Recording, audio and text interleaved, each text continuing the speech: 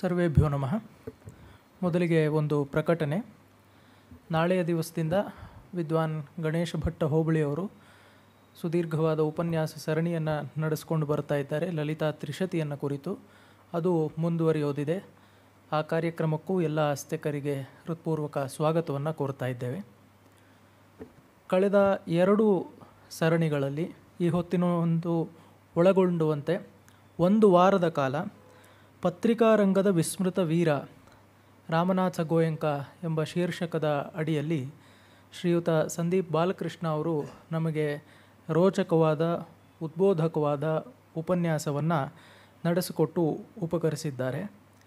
ಇದು ಒಂದು ದೃಷ್ಟಿಯಿಂದ ಕಾಣೋದಾದರೆ ಈ ಉಪನ್ಯಾಸದ ವ್ಯಾಜದಿಂದ ಸ್ವಾತಂತ್ರ್ಯ ಪೂರ್ವ ಮತ್ತು ಸ್ವಾತಂತ್ರ್ಯೋತ್ತರ ಭಾರತದ ಒಂದು ಪಾರ್ಶ್ವನೋಟವನ್ನೇ ನಮಗೆ ಒದಗಿಸಿಕೊಟ್ಟಿದ್ದಾರೆ ಅಂತ ಹೇಳಬಹುದು. ಉಪನ್ಯಾಸದ ಶೀರ್ಷಿಕೆಯ ಆಯ್ಕೆಯಿಂದಲೇ ಸಂದೀಪ್ ಅವರು ತಮ್ಮ ವೈಶಿಷ್ಟ್ಯವನ್ನು ಮೆರೆದಿದ್ದಾರೆ. ವಿಸ್ಮೃತ ವೀರ ಎಂಬ ಒಂದು ಪದಪುಂಜವನ್ನು ಕೇಳಿದ ಕೂಡಲೇ ಅಲ್ಲಿ ಗಮನಿಸ್ತಾ ಇರುವಂತಹ ವ್ಯಕ್ತಿಯ ವ್ಯಕ್ತಿತ್ವ, ಅವರು ಮಾಡಿದಂತಹ ಸಾಧನೆ ಮತ್ತು ನಮ್ಮ ಜನ ಕೊನೆಗೆ ಅವರನ್ನು ನಡೆಸಿಕೊಂಡಿರುವಂತಹ ರೀತಿ ಇವೆಲ್ಲವೂ ಕೂಡ ಮನಸ್ಸಿಗೆ ತಟ್ಟಂತೆ ಬರುವಂತೆ ಆಗತ್ತೆ. ಮತ್ತು ಈ ಉಪನ್ಯಾಸ ಸರಣಿಗಾಗಿ ಅವರು ಅನೇಕ ಆಕಾರಗಳನ್ನು ತಡಕಾಡಿರೋದು ನಮಗೆ ಅವರ ಪ್ರತಿ ವಾಕ್ಯದಲ್ಲಿಯೂ ನಿಚ್ಚಳವಾಗಿ ಕಾಣ್ತಾ ಇರುತ್ತೆ. ಹಲವಾರು ಅಸಂಯುಕ್ತ ಎಂಬಂತೆ ತೋರುವಂತಹ ಸಂಗತಿಗಳನ್ನು ಅವರು ಒಂದೆಡೆ ತಂದು ಬೆಸೆದಿದ್ದಾರೆ. ಇವು ಒಂದು ಪುಸ್ತಕದಲ್ಲಿ ಒಬ್ಬರು ಬರೆದಿರುವ ಪುಸ್ತಕದಲ್ಲಿ ಸಿಗುವಂತಹ ಮಾಹಿತಿಗಳಲ್ಲ. ಸಂದೀಪ್ ಅವರು ಸುಮಾರು ಇಪ್ಪತ್ತೈದು ವರ್ಷಗಳಿಗಿಂತ ಹೆಚ್ಚು ಕಾಲ ಭಾರತೀಯ ಇತಿಹಾಸ, ರಾಜಕಾರಣ, ಸಮಾಜ, ಸಂಸ್ಕೃತಿ ಇವುಗಳನ್ನು ಕುರಿತು ಅವ್ರು ನಡೆಸ್ಕೊಂಡು ಬರ್ತಿರುವಂತಹ ಅಧ್ಯಯನ, ಈ ಎಲ್ಲ ಕ್ಷೇತ್ರಗಳಲ್ಲಿ ಅವರಿಗಿರುವಂತಹ ಅನುಭವ, ಇವುಗಳೇ ಈ ಒಂದು ಶೋಧ ಕಾರ್ಯದಲ್ಲಿ ಅವರಿಗೆ ನೆರವಾಗಿದೆ ಅಂತ ಹೇಳಿದ್ರೆ ತಪ್ಪಲ್ಲ. ಈ ಸಂಶೋಧನೆಯ ಜೊತೆಗೆ ಅವರು ಒಬ್ಬ ನುರಿತಾದ ಸಾಹಿತಿಯಂತೆಯೂ ಈ ಭಾಷಣವನ್ನು ಮಾಡಿದ್ದಾರೆ ಅಂತ ಹೇಳಿದ್ರೆ ತಪ್ಪಾಗಲಾರದು. ರಾಮನಾಥ್ ಗೋಯಂಕ ಅವರ ವ್ಯಕ್ತಿತ್ವದಲ್ಲಿ ಇರುವಂತಹ ಬರೀ ಬಿಳುಪಾದ ಕಪ್ಪಾದ ಸಂಗತಿಗಳನ್ನಷ್ಟೇ ಹೇಳದೆ ಗ್ರೇ ಏರಿಯಾಸ್ ಅಂತ ಯಾವುದನ್ನು ಹೇಳ್ತಾರೆ, ಅವುಗಳನ್ನು ಕುರಿತು ನಮಗೆ ಮನವರಿಕೆ ಮಾಡಿಕೊಟ್ಟು ಅವರು ರಸಮಯವಾದ ಉಪನ್ಯಾಸವನ್ನೇ ನಮಗೆ ಮಾಡಿದ್ದಾರೆ. ಎಲ್ಲದಕ್ಕಿಂತ ಹೆಚ್ಚಾಗಿ ಅವರಲ್ಲಿ ಇರುವಂತಹ ನಿತಾಂತವಾದ ಸಾಮಾಜಿಕ ಕಳಕಳಿ, ಅವರಲ್ಲಿಯ ಒಂದು ರಾಷ್ಟ್ರವಾದ ಇವೆಲ್ಲವೂ ಕೂಡ ನಮಗೆ ನಿಚ್ಚಳವಾಗ್ತಾ ಬರ್ತಾ ಇವೆ. ರಾಮನಾಥ್ ಗೋಯಂಕ ಅವರು ಕೂಡ ಅವರು ಎತ್ತಿ ಹಿಡಿದ ಮೌಲ್ಯಗಳು ಇವು ಅಂತ ನಮಗೆ ಗೊತ್ತಾಗುತ್ತೆ. ಪ್ರಮುಖವಾದ ವಿಷಯ ಅಲ್ಲದೆ ನಮ್ಮ ದೇಶದ ರಾಜಕಾರಣ, ಪತ್ರಿಕೋದ್ಯಮ, ಆರ್ಥಿಕ ವ್ಯವಸ್ಥೆ, ಅಲ್ಲಿಯ ಪಟ್ಟಭದ್ರರು, ಅವರ ಹಿತಾಸಕ್ತಿಗಳು, ಇವುಗಳನ್ನು ಕುರಿತು ರೋಚಕವಾದ ಉಪಕಥೆಗಳನ್ನು ಆಗೀಗ ಹೇಳಿಕೊಂಡು ಬಂದಿದ್ದಾರೆ. ಇವುಗಳಿಂದಾಗಿರುವ ಒಂದು ಲಾಭವು ನಮಗೆ ಅಪರಿಮಿತವಾಗಿದೆ ಅಂತಲೇ ಹೇಳಬೇಕು. ಕೊನೆಗೆ ಒಂದು ನಮ್ಮ ನಿವೇದನೆ ಏನು ಅಂತ ಹೇಳಿದ್ರೆ ಸಂದೀಪ್ ಅವರು ಈ ಭಾಷಣವನ್ನು ಲಿಖಿತ ರೂಪದಲ್ಲಿಯೂ ಹೊರತಂದರೆ ಕನ್ನಡದ ಓದುಗರಿಗೆ ರಾಮನಾಥ ಗೋಯಂಕ ಅವರನ್ನು ಕುರಿತು ಅಧಿಕೃತವಾದ ಮಾ, ಮಾಹಿತಿ ಒಂದೆಡೆ ದೊರಕುವಂತ ಆಗುತ್ತೆ ಇದೇ ವೇದಿಕೆಯಲ್ಲಿ ಶ್ರೀಯುತ ಕಶ್ಯಪ್ ನಾಯಕ್ ಅವರು, ಆರ್ ಸಿ ಮಜುಮ್ದಾರ್ ಅವರ ಸ್ವಾತಂತ್ರ್ಯ ಸಂಗ್ರಾಮದ ಸಂಪುಟಗಳನ್ನು ಕುರಿತು ಯಾವ ಭಾಷಣ ಮಾಲಿಕೆಯನ್ನು ನಡೆಸಿಕೊಂಡು ಬರ್ತಿದ್ದಾರೋ ಅದಕ್ಕೆ ಈ ಒಂದು ಭಾಷಣ ಸರಣಿ ಒಂದರ್ಥದಲ್ಲಿ ಪೂರಕವಾಗಿ ಅದು ಮುಂದುವರಿಕೆಯಾಗಿಯೂ ತೋರುತ್ತೆ ಅಂತ ಹೇಳಿದ್ರೆ ತಪ್ಪಾಗಲಾರದು. ಇಷ್ಟು ಸಂದೀಪ್ ಅವರು ಸಂಸ್ಥೆಯ ಮೇಲಿನ ವಿಶ್ವಾಸದಿಂದ ನಡೆಸಿಕೊಟ್ಟಿರುವಂತಹ ಉದ್ಬೋಧಕವಾದ ಉಪನ್ಯಾಸಕ್ಕಾಗಿ ಅವರಿಗೆ ಸಂಸ್ಥೆಯ ಪರವಾಗಿ, ಎಲ್ಲ ಶ್ರೋತೃಗಳ ಪರವಾಗಿ ನಮನಗಳನ್ನು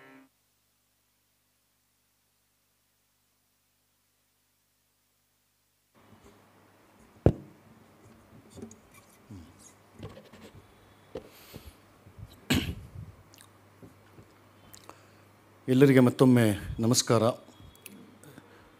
ನನ್ನ ಪ್ರೀತಿಯ ಮಿತ್ರ ಶಶಿಕಿರಣ್ ಏನೇನೋ ಯಥಾ ಪ್ರಕಾರ ಹೇಳಿದ್ದಾರೆ. ಅವ್ರಿಗೂ ಧನ್ಯವಾದಗಳು. ಸೊ, ಇನ್ನು ಈ ಹೊತ್ತಿನ ವಿಷಯ ಸ್ವಲ್ಪ ನಿಗದಿಯಾಗಿರುವಂತಹ ಅವಧಿ ಸ್ವಲ್ಪ ಮೀರುವಂಥ ಒಂದು ಸಂಭವ ಇದೆ. ಸೊ, ದಯವಿಟ್ಟು ಎಲ್ಲರೂ ಸಹಕಾರ ಕೊಡಬೇಕು ಅಂತ ವಿನಂತಿಸ್ತೀನಿ. ಸೊ, ನಿನ್ನೆ ಎಲ್ಲಿ ನಿಲ್ಲಿಸಿದ್ವಿ ಅನ್ನೋದನ್ನು ಒಂದು ಸ್ವಲ್ಪ ಬೇಗ ಮೆಲುಕು ಹಾಕ್ಬಿಟ್ಟು ಈ ಹೊತ್ತಿನ ವಿಷಯಕ್ಕೆ ಬರ್ಬೋದು. ನಿನ್ನೆ ಹೇಗೆ ಇಂದಿರಾ ಗಾಂಧಿಯವರು ಸಾವಿರದ ಒಂಬೈನೂರ ಅರವತ್ತೊಂಬತ್ತರಲ್ಲಿ ಕಾಂಗ್ರೆಸ್ ಪಕ್ಷನ ಒಡೆದು ಎರಡು ಹೋಲ್ಡ್ ಮಾಡಿ ಅವರು ಸರ್ವಾಧಿಕಾರದ ಕಡೆ ಹೆಜ್ಜೆ ಹಾಕ್ತಾ ಬಂದಿದ್ದು ಅಲ್ಲಿಂದ ಶುರುವಾಗುತ್ತೆ. ಆಮೇಲೆ ನಿರಂತರವಾಗಿ ಹೇಗೆ ರಾಮನಾಥ್ ಗೋಯಂಕ ಅವರು ಅವರು ವಿರೋಧಿ ಬಣ, ಅಂದರೆ ಸಿಂಡಿಕೇಟ್ ಅಂತ ಕರಿತಿದ್ದಾರಲ್ಲ, ಕಾಂಗ್ರೆಸ್ ಓ ಅಂತ ಪಕ್ಷ ಆಗುತ್ತೆ. ಅವ್ರ ಜೊತೆ ನಿಂತ್ಕೊಂಡು ಇಂದಿರಾ ಗಾಂಧಿ ವಿರುದ್ಧ ಹೋರಾಡಿ ಮತ್ತು ಸ್ವತಃ ಅವರೇ ಚುನಾವಣೆಯ ಕಣಕ್ಕೆ ಇಳಿದು ಮಧ್ಯಪ್ರದೇಶದ ವಿದಿಶಾ ಕ್ಷೇತ್ರದಿಂದ ಅವರು ಪ್ರಚಂಡ ಬಹುಮತದಿಂದ ಆಯ್ಕೆಯಾಗಿ ಲೋಕಸಭೆಗೆ ಹೋಗ್ತಾರೆ. ಅಲ್ಲೂ ಕೂಡ ಬಿಡೋದಿಲ್ಲ. ಇಂದಿರಾ ಗಾಂಧಿನ ಕಾಡ್ತಾ ಇರ್ತಾರೆ.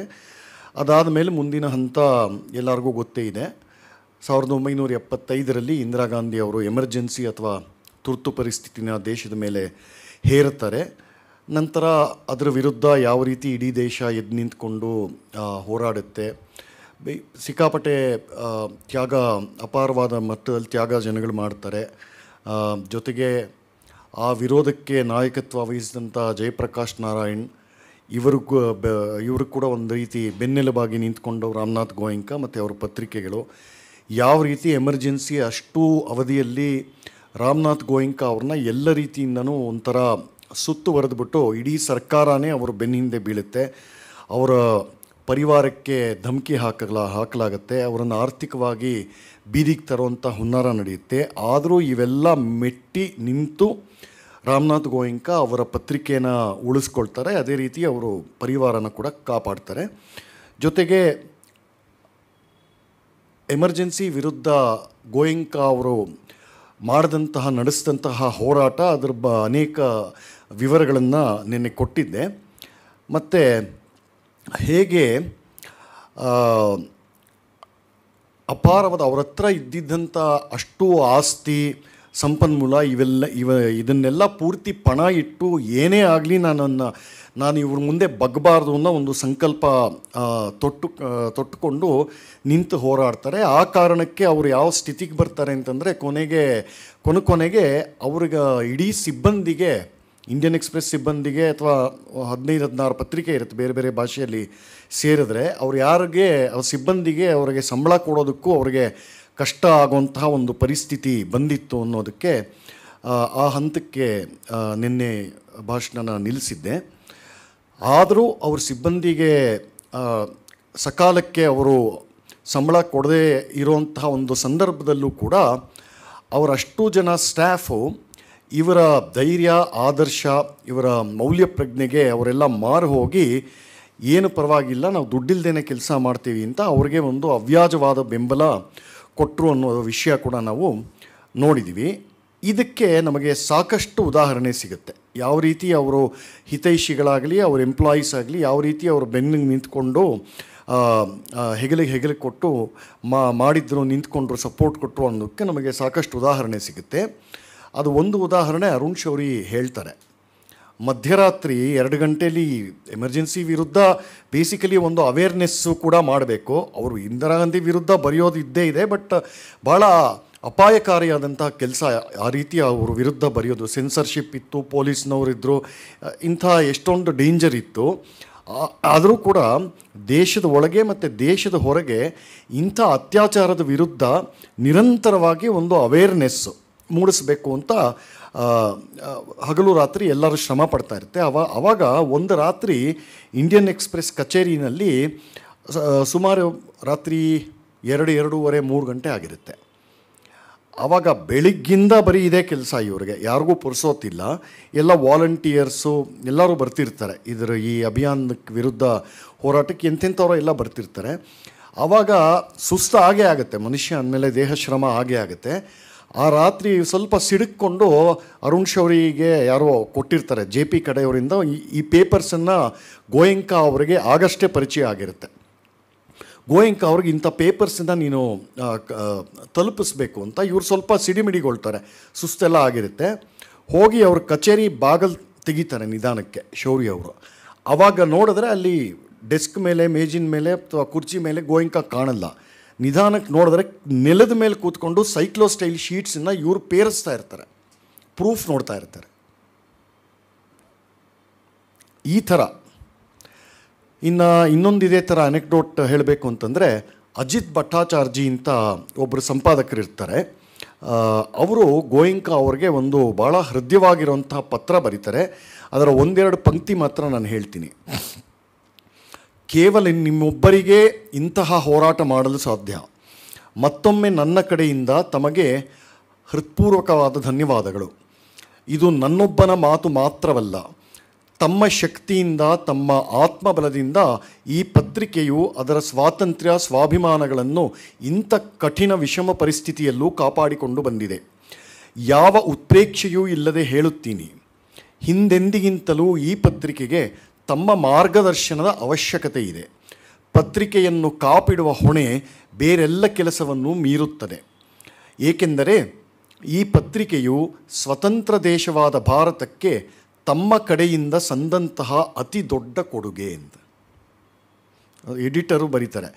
ಆ ಕಾಲದಲ್ಲಿ, ಈ ಕಾಲದಲ್ಲಿ ಇದ್ದ ಹಾಗೆ, ಮುಂಚೆ ಇದ್ದ ಹಾಗೆ ಎಷ್ಟೊಂದು ಜನ ಬಿಸ್ನೆಸ್ಮೆನ್ನು ವ್ಯಾಪಾರಿಗಳು ಪತ್ರಿಕೆಯನ್ನು ಶುರು ಮಾಡಿರ್ತಾರೆ, ಬೇರೆ ಬೇರೆ ಕಾರಣಗಳಿಗೆ. ಆದರೆ ಯಾವ ವ್ಯಾಪಾರಿ businessman who owned a newspaper none of them participated in the struggle for emergency as a newspaper owner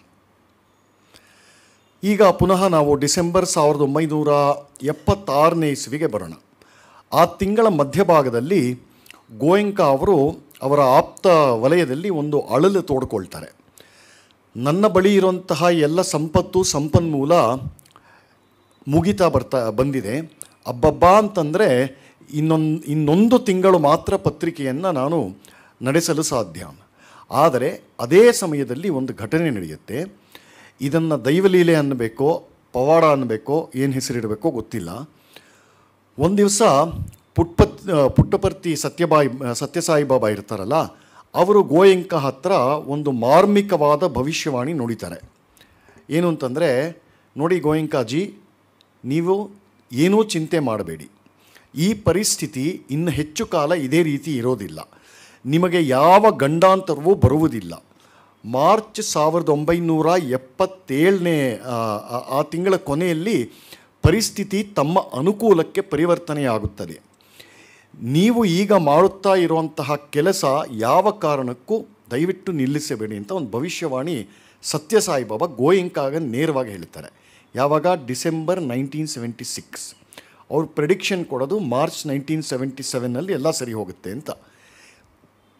ಈ ಮಾತು ಕೇಳಿದಂತಹ ಗೋಯಿಂಕ ಅವ್ರಿಗೆ ಹತ್ತು ಸಾವಿರದ ಆನೆ ಬಲ ತುಂಬದ ರೀತಿ ಆಗುತ್ತೆ, ಮತ್ತು ಹುರುಪು ಬರುತ್ತೆ.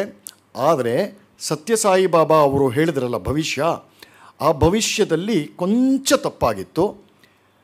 ಗೋಯಂಕಾ ಮತ್ತು ಭಾರತ ದೇಶ ಮಾರ್ಚ್ ಸಾವಿರದ ಒಂಬೈನೂರ ಎಪ್ಪತ್ತೇಳು ತನಕ ಕಾಯೋ ಗೋಜೆ ಇರಲಿಲ್ಲ. ಯಾಕೆ ಅಂತಂದರೆ ಇಂದಿರಾ ಗಾಂಧಿ ಜನವರಿ ಹದಿನೇಳು ಸಾವಿರದ ಒಂಬೈನೂರ ಎಪ್ಪತ್ತೇಳರಲ್ಲಿ ಚುನಾವಣೆನ ಘೋಷಣೆ ಮಾಡ್ತಾರೆ.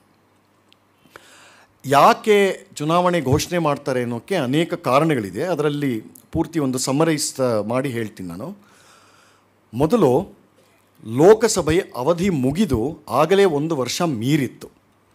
ತುರ್ತು ಪರಿಸ್ಥಿತಿ ಏನಾದರೂ ಅವ್ರು ಹೇರದೆ ಹೇರದೆ ಹೋಗಿದ್ದ ಪಕ್ಷದಲ್ಲಿ ಚುನಾವಣೆ ಎಂದಿನಂತೆ ಸಾವಿರದ ಒಂಬೈನೂರ ಎಪ್ಪತ್ತಾರರಲ್ಲೇ ನಡಿಬೇಕಾಗಿತ್ತು. ಈಗ ಅದಕ್ಕೆ ಎಮರ್ಜೆನ್ಸಿಯ ಕಳಂಕ ಅಂಟುಕೊಂಡಿತ್ತು.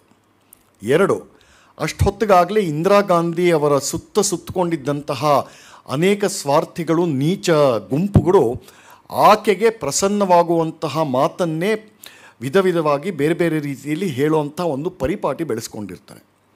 ಅಂದರೆ ಸತ್ಯವನ್ನು ಬಿಟ್ಟು ಬೇರೆಲ್ಲ ಹೇಳ್ತಾ ಇರ್ತಾರೆ. ಅವರ ಪ್ರಕಾರ ಏನು ಅಂತಂದರೆ, ನೋಡಿ ಮೇಡಮ್ ನೀವು ಚುನಾವಣೆ ಈಗಲೇ ಘೋಷಿಸಿಬಿಡಿ. ತುರ್ತು ಪರಿಸ್ಥಿತಿಯಲ್ಲಿ ನೀವು ತೆಗೆದುಕೊಂಡಂತಹ ಕ್ರಾಂತಿಕಾರಿ ನಡೆ, ನಿಮ್ಮ ದಿಟ್ಟ ನಿರ್ಧಾರಗಳು, ನಿಮ್ಮ ಜನಪ್ರಿಯತೆಯನ್ನು ಆಕಾಶದ ಎತ್ತರಕ್ಕೆ ಏರಿಸಿಬಿಟ್ಟಿವೆ. ಭರ್ಜರಿ ಗೆಲುವು ಸಾಧಿಸಿಯೇ ಸಾಧಿಸುತ್ತೀರಿ. ಅದರಲ್ಲಿ ಏನೂ ಡೌಟ್ ಇಲ್ಲ ಅಂತ ಈ ರೀತಿ ಹೊಗಳಿಕೆ ಮಂತ್ರಗಳನ್ನು ಪೋಣಿಸ್ತಾ ಹೋಗ್ತಾರೆ.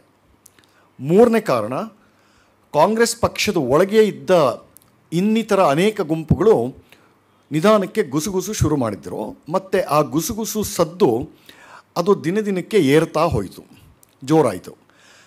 ಅವರ ಪ್ರಕಾರ ಏನು ಅಂತಂದರೆ, ಮುಖ್ಯವಾಗಿ ಸಂಜಯ್ ಗಾಂಧಿ ಮತ್ತು ಅವನ ದುಷ್ಟ ಬಳಗ ಇರುತ್ತಲ್ಲ, ಅವರು ಇಡೀ ಸರ್ಕಾರನ ತಮ್ಮ ಕೈಗೆ ತೊಗೊಂಡ್ಬಿಟ್ಟಿರ್ತಾರೆ. ಸರ್ಕಾರನ ಕೈಗೆ ತೊಗೊಳ್ಳೋದಂದರೆ ಇಡೀ ಯಂತ್ರಾಂಗ ತಮ್ಮ ಕೈಗೆ ತೊಗೊಂಡಿರ್ತಾರೆ. ತಗೊಂಡು ಅವ್ರು ಮಾಡಿದಂತಹ ದಾಂಧಲೆಗಳು ಅಕ್ರಮಗಳು ಅವೆಲ್ಲ ಮಿತಿ ಮೀರಿ ಹೋಗಿರುತ್ತೆ.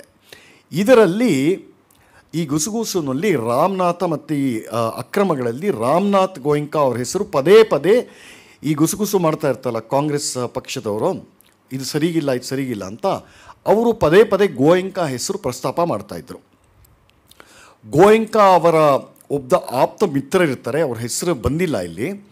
ಅವರಿಗೆ ಸಂಜಯ್ ಗಾಂಧಿ ಗೂಂಡಾ ಪಡೆ ಇರುತ್ತಲ್ಲ ಆ ವರ್ಗದ ಒಬ್ಬ ಸದಸ್ಯ ಒಂದು ಸಲ ಈ ಗೋಯಂಕ ಫ್ರೆಂಡ್ಗೆ ಅವ್ರ ಮುಖಕ್ಕೆ ನೇರವಾಗಿ ಒಂದು ಮಾತು ಹೇಳ್ತಾರೆ.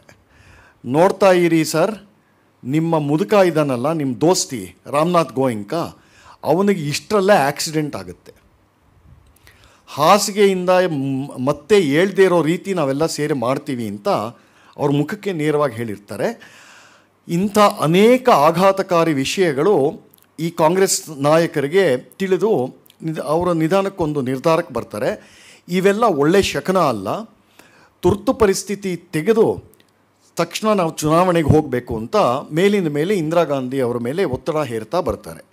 ನಾಲ್ಕನೇ ಕಾರಣ ಏನು ಅಂತಂದರೆ ನಾವಾಗಲೇ ಹೇಳಿದಂತೆ ಜಾಗತಿಕ ಮಟ್ಟದಲ್ಲಿ ರಾಜಕೀಯ ಹಾಗೂ ಪತ್ರಿಕಾ ರಂಗ, ಜಾಗತಿಕ ಮಟ್ಟದಲ್ಲಿ ಅವೆಲ್ಲ ಸೇರಿ ಇಂದಿರಾ ಗಾಂಧಿ ವಿರುದ್ಧ ಬಹಿರಂಗವಾಗಿ ಟೀಕೆ ಮಾಡಕ್ಕೆ ಮಾಡ್ತಾ ಶುರು ಮಾಡ್ತಾರೆ.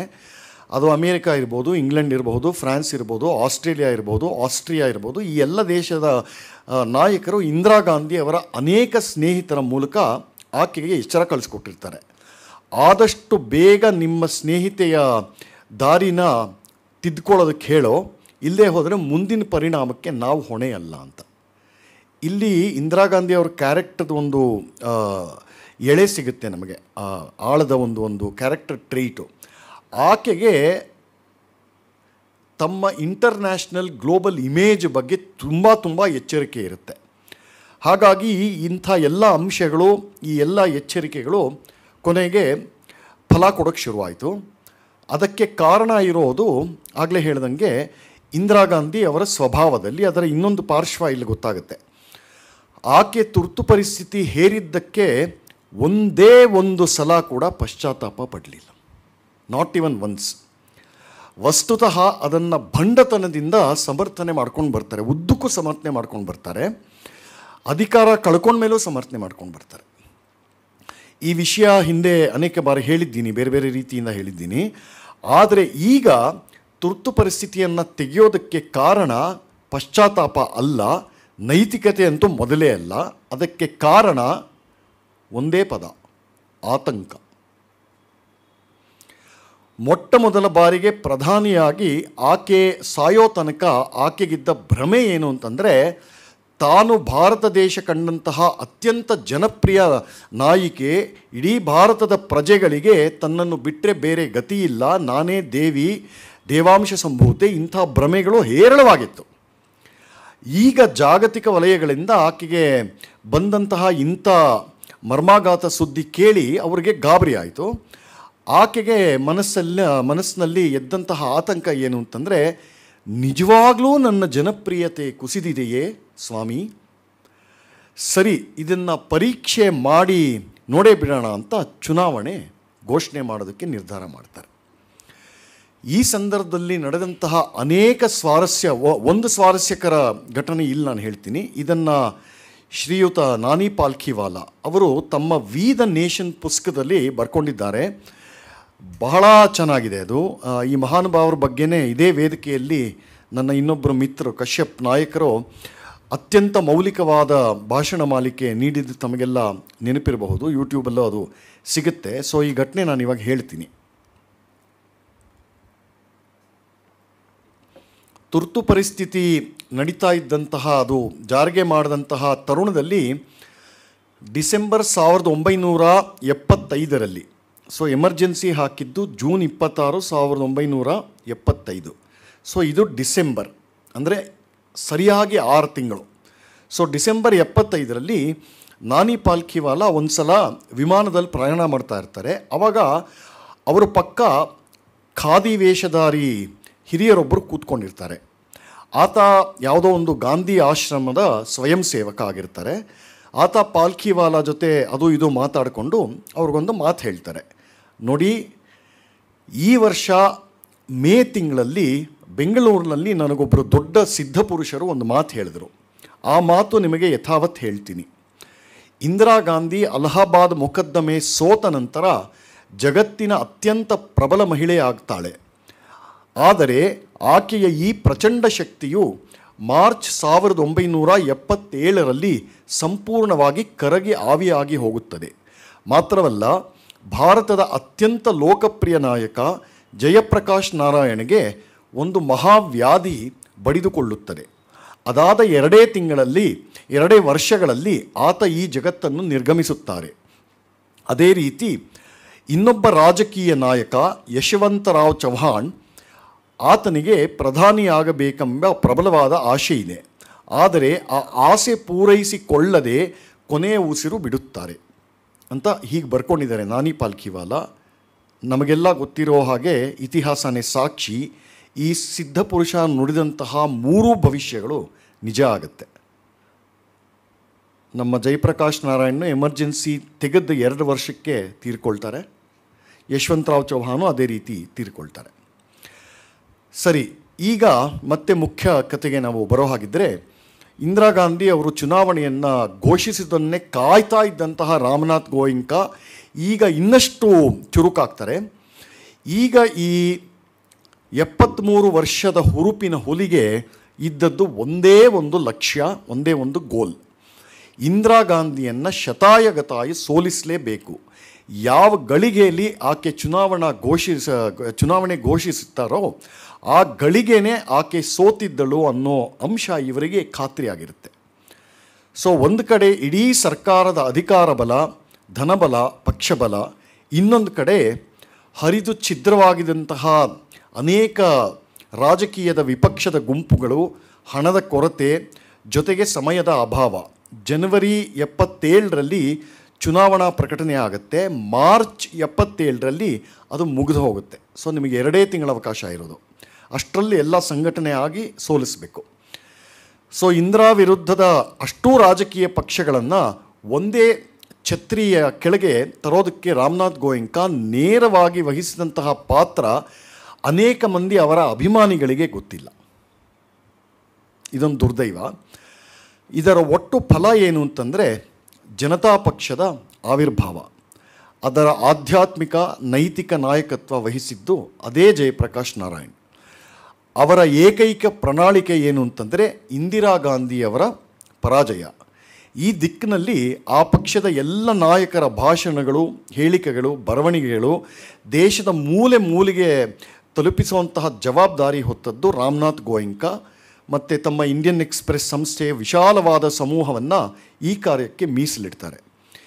ಇವೆಲ್ಲ ಒಂದು ಕಡೆ ಆದರೆ ಇನ್ನೊಂದು ಕಡೆ ಗೋಯಂಕ ಅವರು ತಮ್ಮ ಪತ್ರಿಕೆಯ ಸಂಪಾದಕರು, ರಿಪೋರ್ಟರ್ಗಳು ಹಾಗೂ ಹೊರಗಿನಿಂದ ಲೇಖಕರಿಗೆ ಒಂದು ಕೆಲಸ ಕೊಡ್ತಾರೆ. ಅದೇನು ಅಂತಂದರೆ, ತುರ್ತು ಪರಿಸ್ಥಿತಿಯಲ್ಲಿ ನಡೆದಂತಹ ಪ್ರತಿಯೊಂದು ಅನ್ಯಾಯ, ಅತ್ಯಾಚಾರ ದಬ್ಬಾಳಿಕೆ, ದಾರುಣ ಈ ಎಲ್ಲ ವಿವರಗಳನ್ನು ಹೆಕ್ಕಿ ಹೆಕ್ಕಿ ತೆಗೆದು ನನಗೆ ಕಳಿಸ್ಕೊಡಿ ಅಂತ. ಹೀಗೆ ಈ ರೀತಿ ಇಂಡಿಯನ್ ಎಕ್ಸ್ಪ್ರೆಸ್ ಸಮೂಹದ ಎಲ್ಲ ಪತ್ರಿಕೆಗಳಲ್ಲಿ ಇಂದಿರಾ ಗಾಂಧಿ, ಸಂಜಯ್ ಗಾಂಧಿ ಹಾಗೂ ಅವರ ಅಷ್ಟು ದುಷ್ಟ ಪರಿವಾರ ಅವರು ಎಸಗಿದ್ದಂತಹ ಒಂದೊಂದು ಪಾತಕದ ವಿವರಗಳು ಓದುಗರ ಮನಸ್ಸಿಗೆ ರಾಚುವಂತೆ ಪ್ರಕಟ ಮಾಡ್ತಾ ಹೋಗ್ತಾರೆ ಗೋಯಿಂಕ. ಇದೆಲ್ಲದರ ಇದೆಲ್ಲದರ ಒಟ್ಟಂದದ ಚಿತ್ರಣ ಹೀಗಿದೆ. ಯಾವ ರೀತಿ ಅತ್ಯಂತ ಹೀನಾತಿಹೀನವಾದ ಒಂದು ಸಣ್ಣ ಗುಂಪು ಇಡೀ ದೇಶದ ಎಲ್ಲ ಸಮಸ್ ಸಂಸ್ಥೆಗಳನ್ನು ಕಬಳಿಸಿಬಿಟ್ಟು ಇಡೀ ನ್ಯಾಯ ವ್ಯವಸ್ಥೆಯ ವ್ಯವಸ್ಥೆಯನ್ನು ಹಾಳು ಮಾಡಿ ಜನಗಳ ಸ್ವಾತಂತ್ರ್ಯ ಹರಣ ಮಾಡಿ ಪ್ರಜಾಪ್ರಭುತ್ವವನ್ನು ಭ್ರಷ್ಟಗೊಳಿಸಿ ಎಗ್ಗಿಲ್ಲದ ಸರ್ವಾಧಿಕಾರಿಯನ್ನು, ಸರ್ವಾಧಿಕಾರವನ್ನು ಮೆರೆದಿತ್ತು ಅನ್ನೋದು ಸಾರಾಂಶ. ಮತ್ತು ಈ ದುಷ್ಕೃತ್ಯದಲ್ಲಿ ಪಾಲ್ಗೊಂಡಂತಹ ಎಲ್ಲ, ಎಲ್ಲರ ಹೆಸರುಗಳನ್ನು ನಿರ್ಭಯವಾಗಿ ಪ್ರಕಟಿಸ್ತಾ ಬರುತ್ತೆ ಇಂಡಿಯನ್ ಎಕ್ಸ್ಪ್ರೆಸ್. ಈ ಲೇಖನ ಪ್ರವಾಹದಲ್ಲಿ ಬಂದಂತಹ ಒಂದು ಪ್ರಮುಖ ಪ್ರಕಟಣೆ ಯಾವುದು ಅಂತಂದರೆ ಆ ಕಾಲದ ಸುಪ್ರೀಂ ಕೋರ್ಟ್ನ ನ್ಯಾಯಮೂರ್ತಿ ಒಬ್ಬರು ಇರ್ತಾರೆ ಅವ್ರ ಹೆಸರು ವಿ ಡಿ ತುಳಜಾಪುರ್ಕರ್ ಅಂತ. ಅವರು ನಾಗಪುರದಲ್ಲಿ ಒಂದು ಭಾಷಣ ಮಾಡಿರ್ತಾರೆ. ಆ ಭಾಷಣದ ಯಥಾವತ್ ಪ್ರಕಟಣೆ ಇಂಡಿಯನ್ ಎಕ್ಸ್ಪ್ರೆಸ್ಸಲ್ಲಿ ಮೂಡಿಬರುತ್ತೆ. ಮತ್ತು ಈ ಭಾಷಣವನ್ನು ಅವರು ತುರ್ತು ಪರಿಸ್ಥಿತಿ ಜಾರಿಗೆ ಇದ್ದ ಕಾಲದಲ್ಲೇ ಮಾಡಿದ್ದಂಥದ್ದು ಗಮನಾರ್ಹ. ಯಥಾ ಪ್ರಕಾರ ಅದನ್ನು ಇಂದಿರಾ ಗಾಂಧಿ ಸರ್ಕಾರ ಆ ಕಾಲದಲ್ಲಿ ಸೆನ್ಸಾರ್ ಮಾಡಿ ಹಾಕಿತ್ತು ಅದರಿಂದ ಒಂದು ತುಣುಕು ಮಾತ್ರ ನಾನು ಇಲ್ಲಿ ಓದ್ತೀನಿ. ಐದು ಸದಸ್ಯರಿರುವ ಒಂದು ಪರಿವಾರವು ಗಂಡ, ಹೆಂಡತಿ ಹಾಗೂ ಅವರ ಮೂರು ಮಕ್ಕಳು.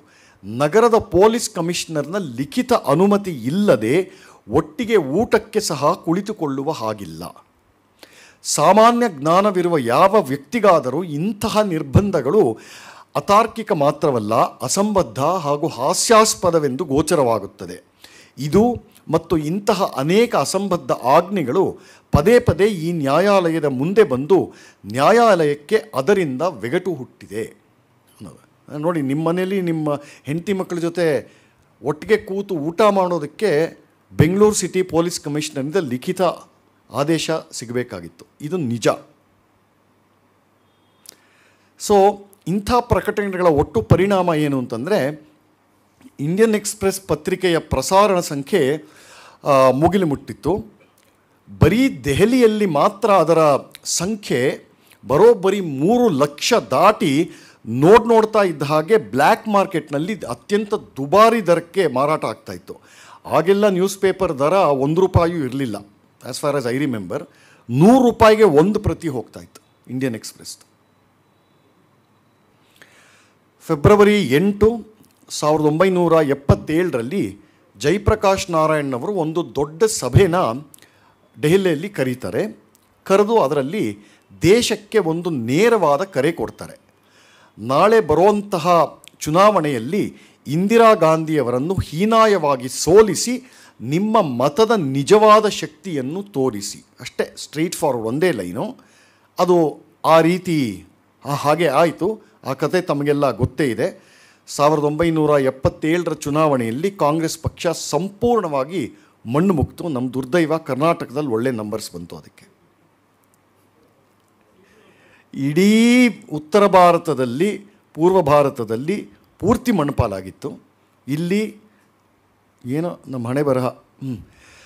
ಭಾರತ ದೇಶಕ್ಕೆ ಸ್ವಾತಂತ್ರ್ಯ ಬಂದ ಮೂವತ್ತು ವರ್ಷಗಳಾದ ಮೇಲೆ ಮೊಟ್ಟ ಮೊದಲ ಬಾರಿ ಕಾಂಗ್ರೆಸ್ ಪಕ್ಷ ಇಂಥ ಹೀನಾಯವಾದ ಸೋಲನ್ನು ಕಂಡಿದ್ದು ಜನತಾ ಪಕ್ಷದ ಹೊಸ ಸರ್ಕಾರ ಬಂತು.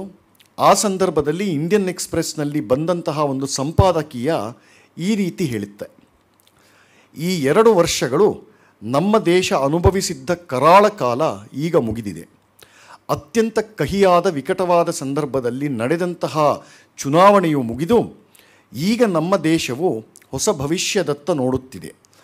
ಇದು ಶಾಂತಿ, ಭದ್ರತೆ, ಸುಸ್ಥಿರತೆ ಸುಸ್ಥಿರತೆಯ ಯುಗವಾಗಬೇಕು.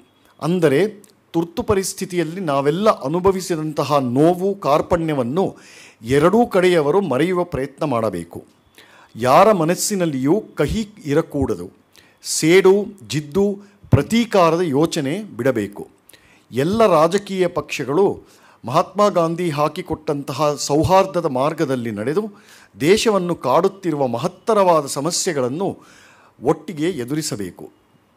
ಪ್ರಜಾಪ್ರಭುತ್ವದಲ್ಲಿ ನಡೆಯುವ ಚುನಾವಣೆಯಲ್ಲಿ ವಿಜಯಿ ಮತ್ತು ಪರಾಜಯಿ ಇರುವುದಿಲ್ಲ. ಈ ರೀತಿ ಒಳ್ಳೆ it is a noble editorial thoroughly undeserving of Indira Gandhi ಈ ರೀತಿ ಮುಗಿಯುತ್ತೆ ಸಂಪಾದಕೀಯ.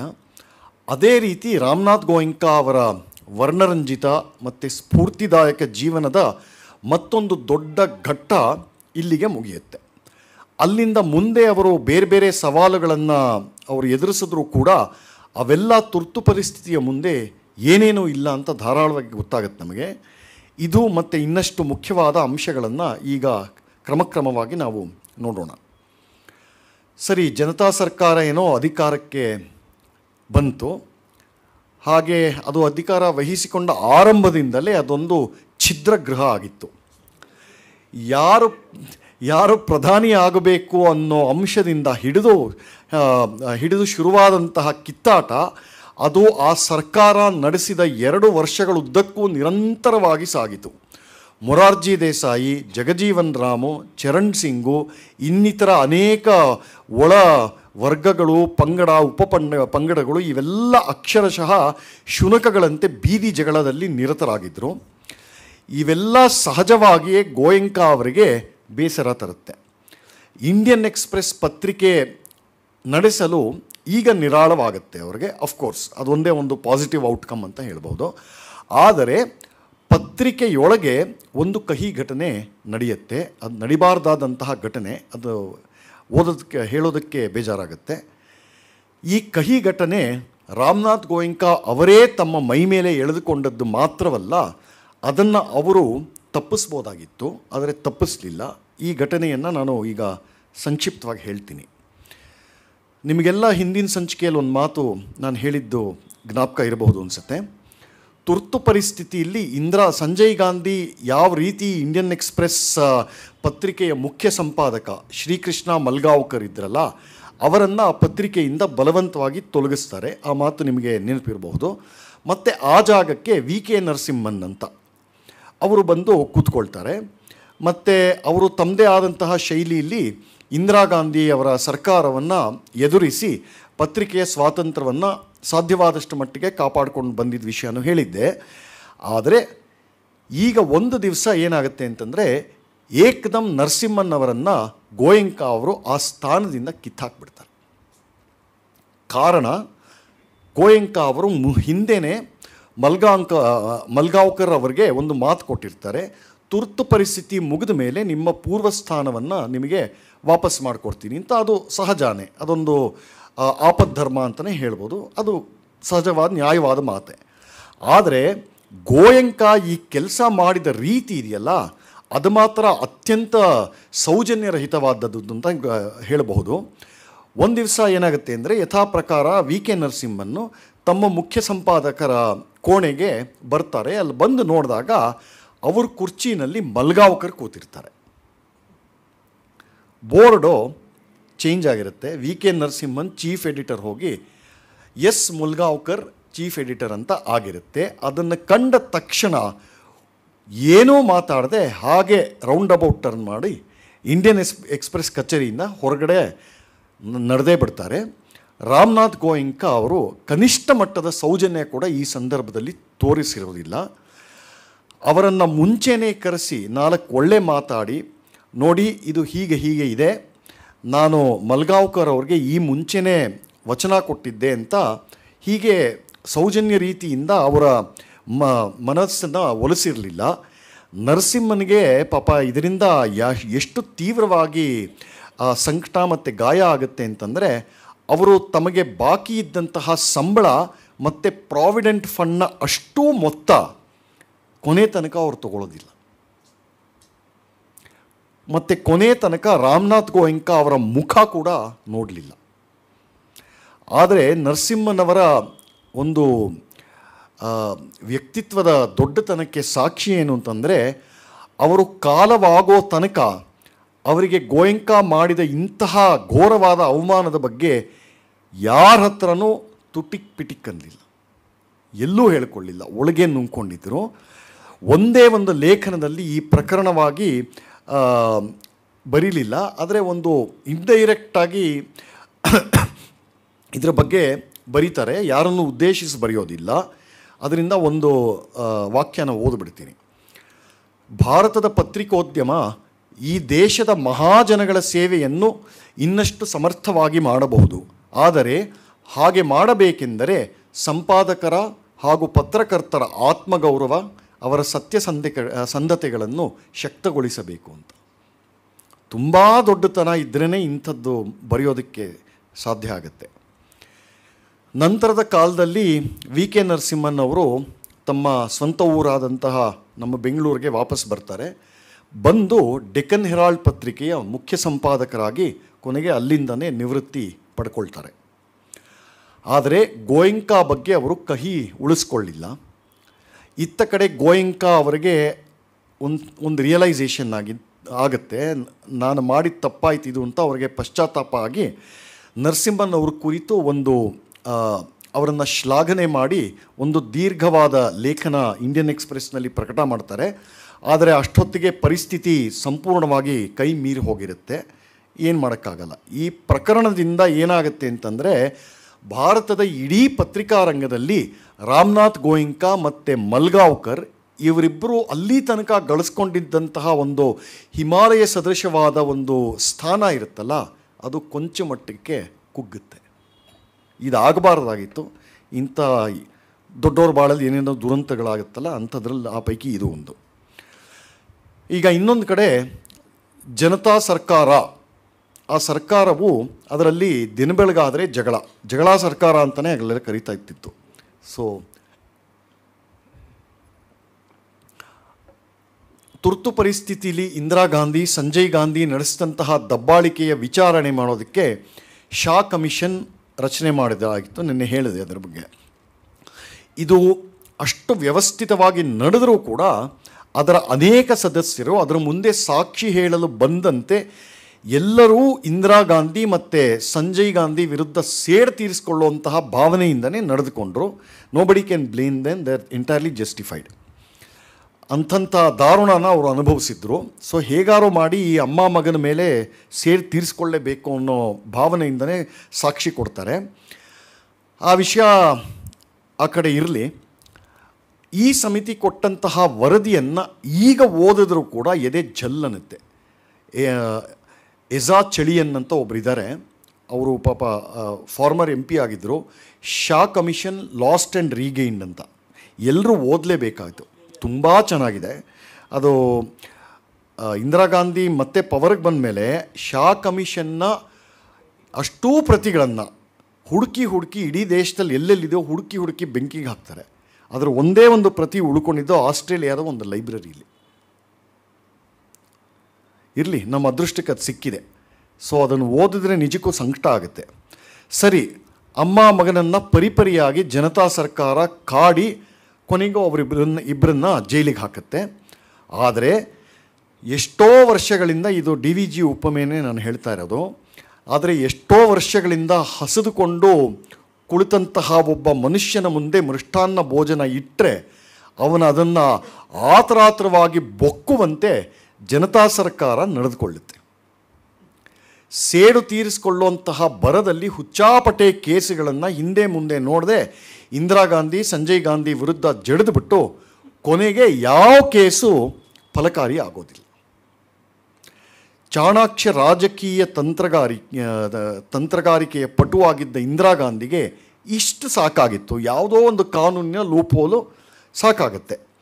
ಸೊ, ಚುನಾವಣಾ ರಾಜಕೀಯಕ್ಕೆ ಆಕೆ ಮತ್ತೆ ಬರೋ ಬರಬೇಕು ಅಂತ ಕಾಯ್ತಾ ಇದ್ದಲ್ಲ ಬಕಪಕ್ಷಿ ಥರ, ಆಕೆಗೆ ಇಂಥ ಒಂದೇ ಒಂದು ಅವಕಾಶ ಬೇಕಿತ್ತು. ಅದು ಸಿಕ್ತು.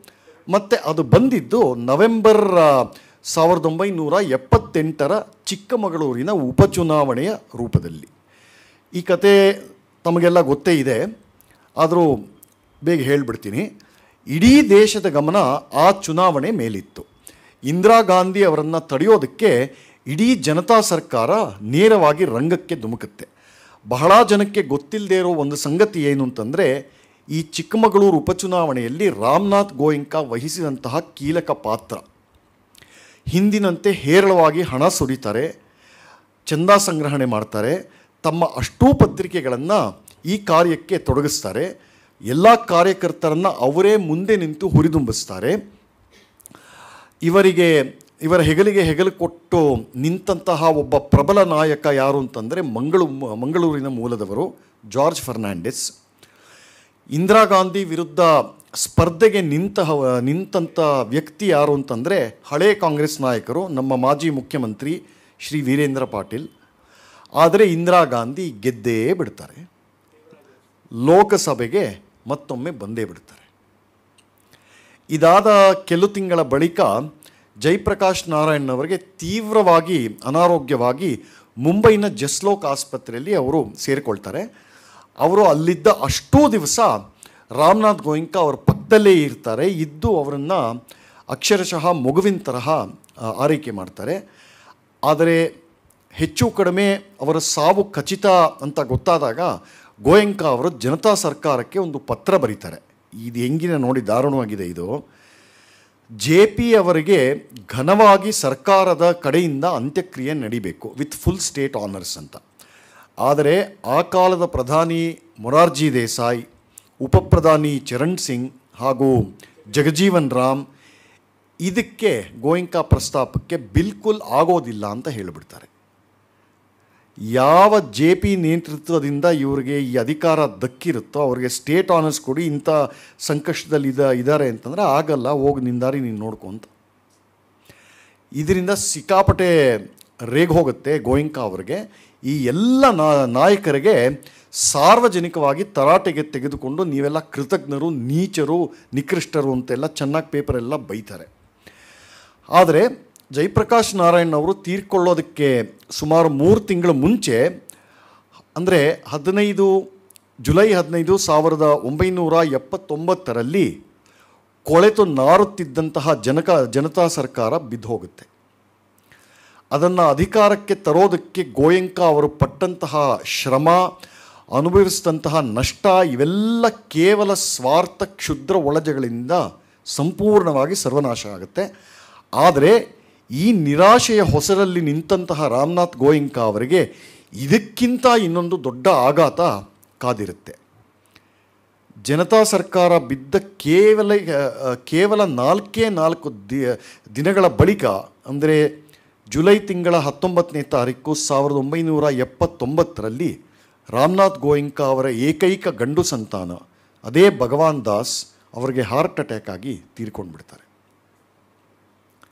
ಆಗ ಆತನ ವಯಸ್ಸು ಕೇವಲ ಐವತ್ತಾರು ವರ್ಷ. ಇದರಿಂದ ಕೊನೆ ತನಕ ರಾಮನಾಥ್ ಗೋಯಿಂಕ ಅವರಿಗೆ ಚೇತರಿಸ್ಕೊಳ್ಳೋಕ್ಕಾಗೋದೇ ಇಲ್ಲ.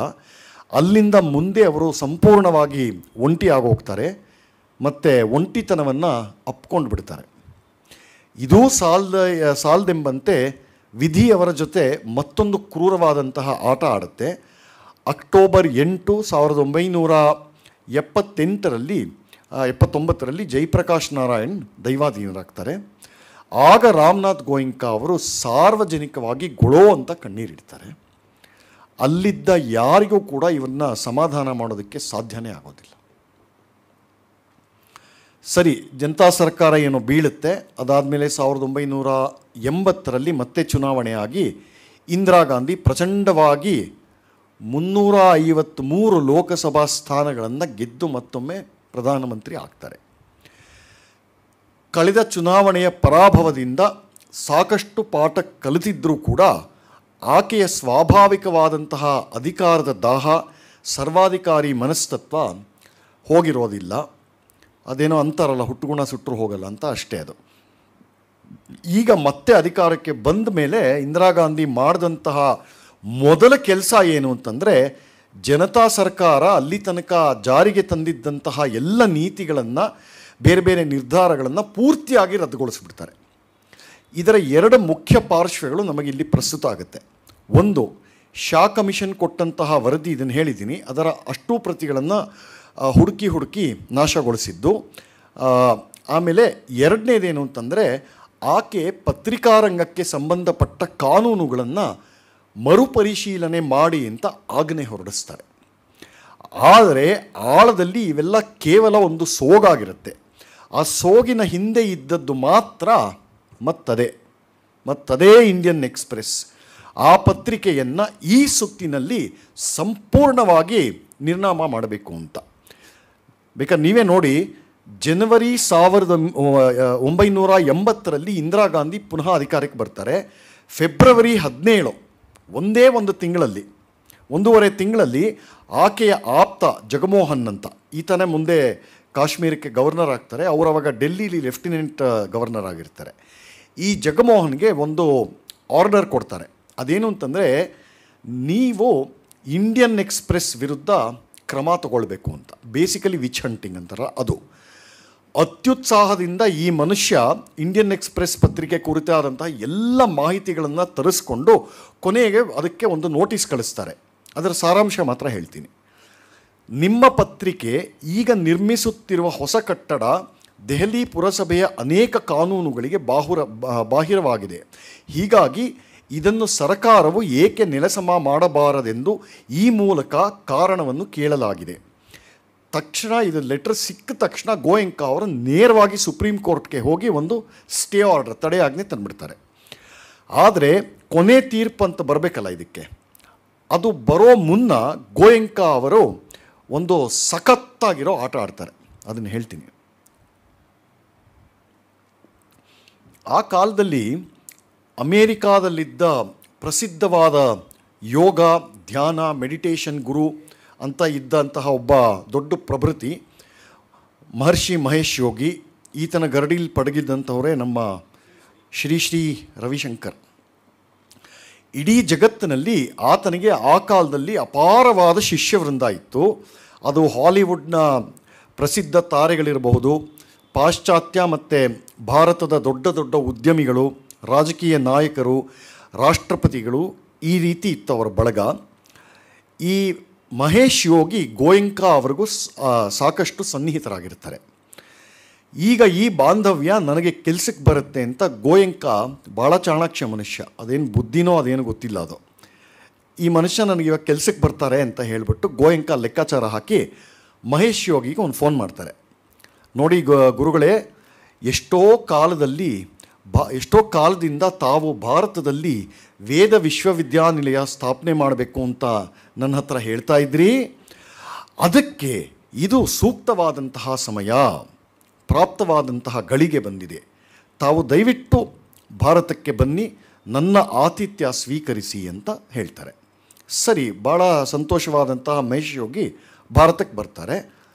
ಅಷ್ಟು ಮಾತ್ರ ಅಲ್ಲ, ಅವ್ರ ಜೊತೆಗೆ ಮೂರು ಸಾವಿರದ ಐನೂರು ಮಂದಿ ಶಿಷ್ಯರನ್ನು ತೊಗೊಂಡು ಬರ್ತಾರೆ. ಈ ಅಷ್ಟೂ ಜನಕ್ಕೆ ಅಶನ, ವಸನ ಕಲ್ಪ, ಕಲ್ಪಿಸಿಕೊಟ್ಟಿದ್ದು ಇದೇ ಕಟ್ಟಡದಲ್ಲಿ. ಯಾವ ಕಟ್ಟಡ? ಜಗಮೋಹನ್ ನೋಟಿಸ್ ಕಳಿಸ್ಕೊಟ್ಟಿರ್ತಾರಲ್ಲ, ಆ ಕಟ್ಟಡದಲ್ಲಿ. ಇಂಡಿಯನ್ ಎಕ್ಸ್ಪ್ರೆಸ್ ಕಾಂಪೌಂಡಲ್ಲಿ ಇರುತ್ತೆ ಅದು. ಅಲ್ಲಿ ಇವ್ರಿಗೆ ಅಕಾಮಿಡೇಷನ್ನು ಫುಡ್ಡು ಎಲ್ಲ ಸಿಗುತ್ತೆ. ರಾಮನಾಥ್ ಗೋಯಿಂಕ ಆ ಇಡೀ ಕಟ್ಟಡವನ್ನು ರಾತ್ರೋರಾತ್ರಿ ಒಂದು ಬೃಹತ್ ಆಧ್ಯಾತ್ಮಿಕ ಆಶ್ರಮವಾಗಿ ಮಾರ್ಪಾಟು ಮಾಡಿಬಿಟ್ಟಿರ್ತಾರೆ. ಎರಡೇ ದಿವಸದಲ್ಲಿ ಮಹೇಶ್ ಯೋಗಿ ಅವರ ವೈಭವದ ವಾರ್ತೆ ಇಡೀ ಡೆಲ್ಲಿಲಿ ಡೆಲ್ಲಿಯನ್ನು ವ್ಯಾಪಿಸ್ಬಿಟ್ಟಿರುತ್ತೆ. ಸಮಾಜದ ಎಲ್ಲ ವರ್ಗದ ಜನರು, ಉನ್ನತ ವರ್ಗ ಜನರು, ನಿಮಗೆ ಇಂಥ ಫೈವ್ ಸ್ಟಾರ್ ಗುರುಗಳು, ಯೋಗ ಗುರುಗಳು, ಅಲ್ಲೆಲ್ಲ ನಿಮಗೆ ಕಸ ಎತ್ತೋರು ಯಾರೂ ಸಿಗೋದಿಲ್ಲ. ಲೆನ್ಸ್ ಹಾಕ್ಕೊಂಡು ಬಂದರೂ ನಿಮಗೆ ಸಿಗೋದಿಲ್ಲ. ಸೊ ಎಲ್ಲ ವರ್ಗದ ಜನರಿಗೆ ಗೊತ್ತಾಗುತ್ತೆ ಮುಗಿ ಬೀಳ್ತಾರೆ ಅದು ಐ ಎ ಎಸ್ ಆಫೀಸರ್ಗಳು ಜಡ್ಜ್ಗಳು, ದೊಡ್ಡ ದೊಡ್ಡ ಉದ್ಯಮಿಗಳು, ಸಿನಿಮಾ ಸ್ಟಾರ್ಗಳು ಅವ್ರು ಇರಲೇಬೇಕಲ್ಲ. ಅವರೆಲ್ಲ ತಂಡೋಪತಂಡವಾಗಿ ಈ ಆಶ್ರಮ ಅದಕ್ಕೆ ಮುತ್ತಿಗೆ ಹಾಕ್ತಾರೆ. ಒಂದು ಮೂಲದ ಪ್ರಕಾರ ಈ ಸಂದರ್ಭದಲ್ಲಿ ಗೋಯಂಕ ಅವರು ತಮ್ಮ ಆಪ್ತರ ಹತ್ರ ತೊಡೆಯನ್ನು ಗಟ್ಟಿಯಾಗಿ ತಟ್ಟಿ ಕೇಕೆ ಹಾಕಿ ನಗ್ತಾ ಒಂದು ಮಾತು ಹೇಳ್ತಾರೆ. ಈಗ ನೋಡೋಣ ಯಾವನಿಗೆ ಮಹರ್ಷಿಗಳನ್ನು ಇಲ್ಲಿಂದ ಓಡಿಸೋಕೆ ತಾಕತ್ತಿದೆ ಅಂತ. ಅದು ಹಾಗೇ ಆಗತ್ತೆ. ಮತ್ತೊಮ್ಮೆ ರಾಮನಾಥ್ ಗೋಯಂಕ, ಜಗಮೋಹನ್ ಮತ್ತು ಇಂದಿರಾ ಗಾಂಧಿಗೆ ಚೆಳ್ಳೆ ಹಣ್ಣು ತಿನ್ನಿಸೋದ್ರಲ್ಲಿ ಯಶಸ್ವಿ ಆಗಿರ್ತಾರೆ. ಅದರ ಜೊತೆ ಜೊತೆಗೆ ಸರ್ಕಾರ ಹಾಕಿದ್ದಂತಹ ಮೊಕದ್ದಮೆ ಬಿದ್ದು ಹೋಗುತ್ತೆ ಇರಬೇಕೇನೋ ಅದು. ಅದು ಎಕ್ಸ್ಪ್ರೆಸ್ ಗ್ರೂಪ್ಗೆ. ಅದೇ ವರ್ಷ ಸಾವಿರದ ಒಂಬೈನೂರ ಎಂಬತ್ತರ ಜೂನ್ ತಿಂಗಳ ಇಪ್ಪತ್ತೈದು ಇಪ್ಪತ್ತ್ಮೂರನೇ ತಾರೀಕು ಸಂಜಯ್ ಗಾಂಧಿ ವಿಮಾನದ ಅಪಘಾತದಲ್ಲಿ ಸತ್ತು ಹೋಗ್ತಾರೆ ನಮ್ಮನ್ನೆಲ್ಲ ಮುಕ್ತಗೊಳಿಸ್ತಾರೆ.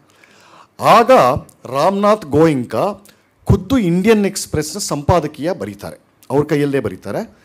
ಅದರಲ್ಲಿ ಸಂಜಯ್ ಗಾಂಧಿ ಸಾವಿಗೆ ತೀವ್ರವಾದ ಶೋಕವನ್ನು ವ್ಯಕ್ತಪಡಿಸಿ ದುಃಖತಪ್ತರಾದಂತಹ ಅವರ ತಾಯಿಗೆ ಸಾಂತ್ವನ ಹೇಳ್ತಾರೆ. ಇದು ಕಾಟಾಚಾರದ ಬರವಣಿಗೆ ಅಲ್ಲ. ಅದು ಸ್ವಯಂ ಗೋಯಿಂಕ ಅವರೇ ಅವರು ಅಂತರಾತ್ಮದಿಂದ ಬಂದಂತಹ ಮಾತು, ಆ ಎಡಿಟೋರಿಯಲ್ ಪ್ರತಿಗಳು ಸಿಗುತ್ತೆ ನಿಮಗೆ, ಇದೆ ಅದು.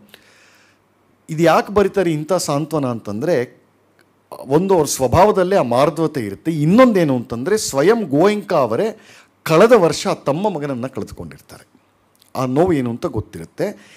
ಇದರ ಪರಿಣಾಮ ಏನು ಅಂತಂದರೆ, ಇಂದಿರಾ ಗಾಂಧಿ ನಿಧಾನವಾಗಿ ಮೆತ್ತಗಾಗ್ತಾ ಹೋಗ್ತಾರೆ.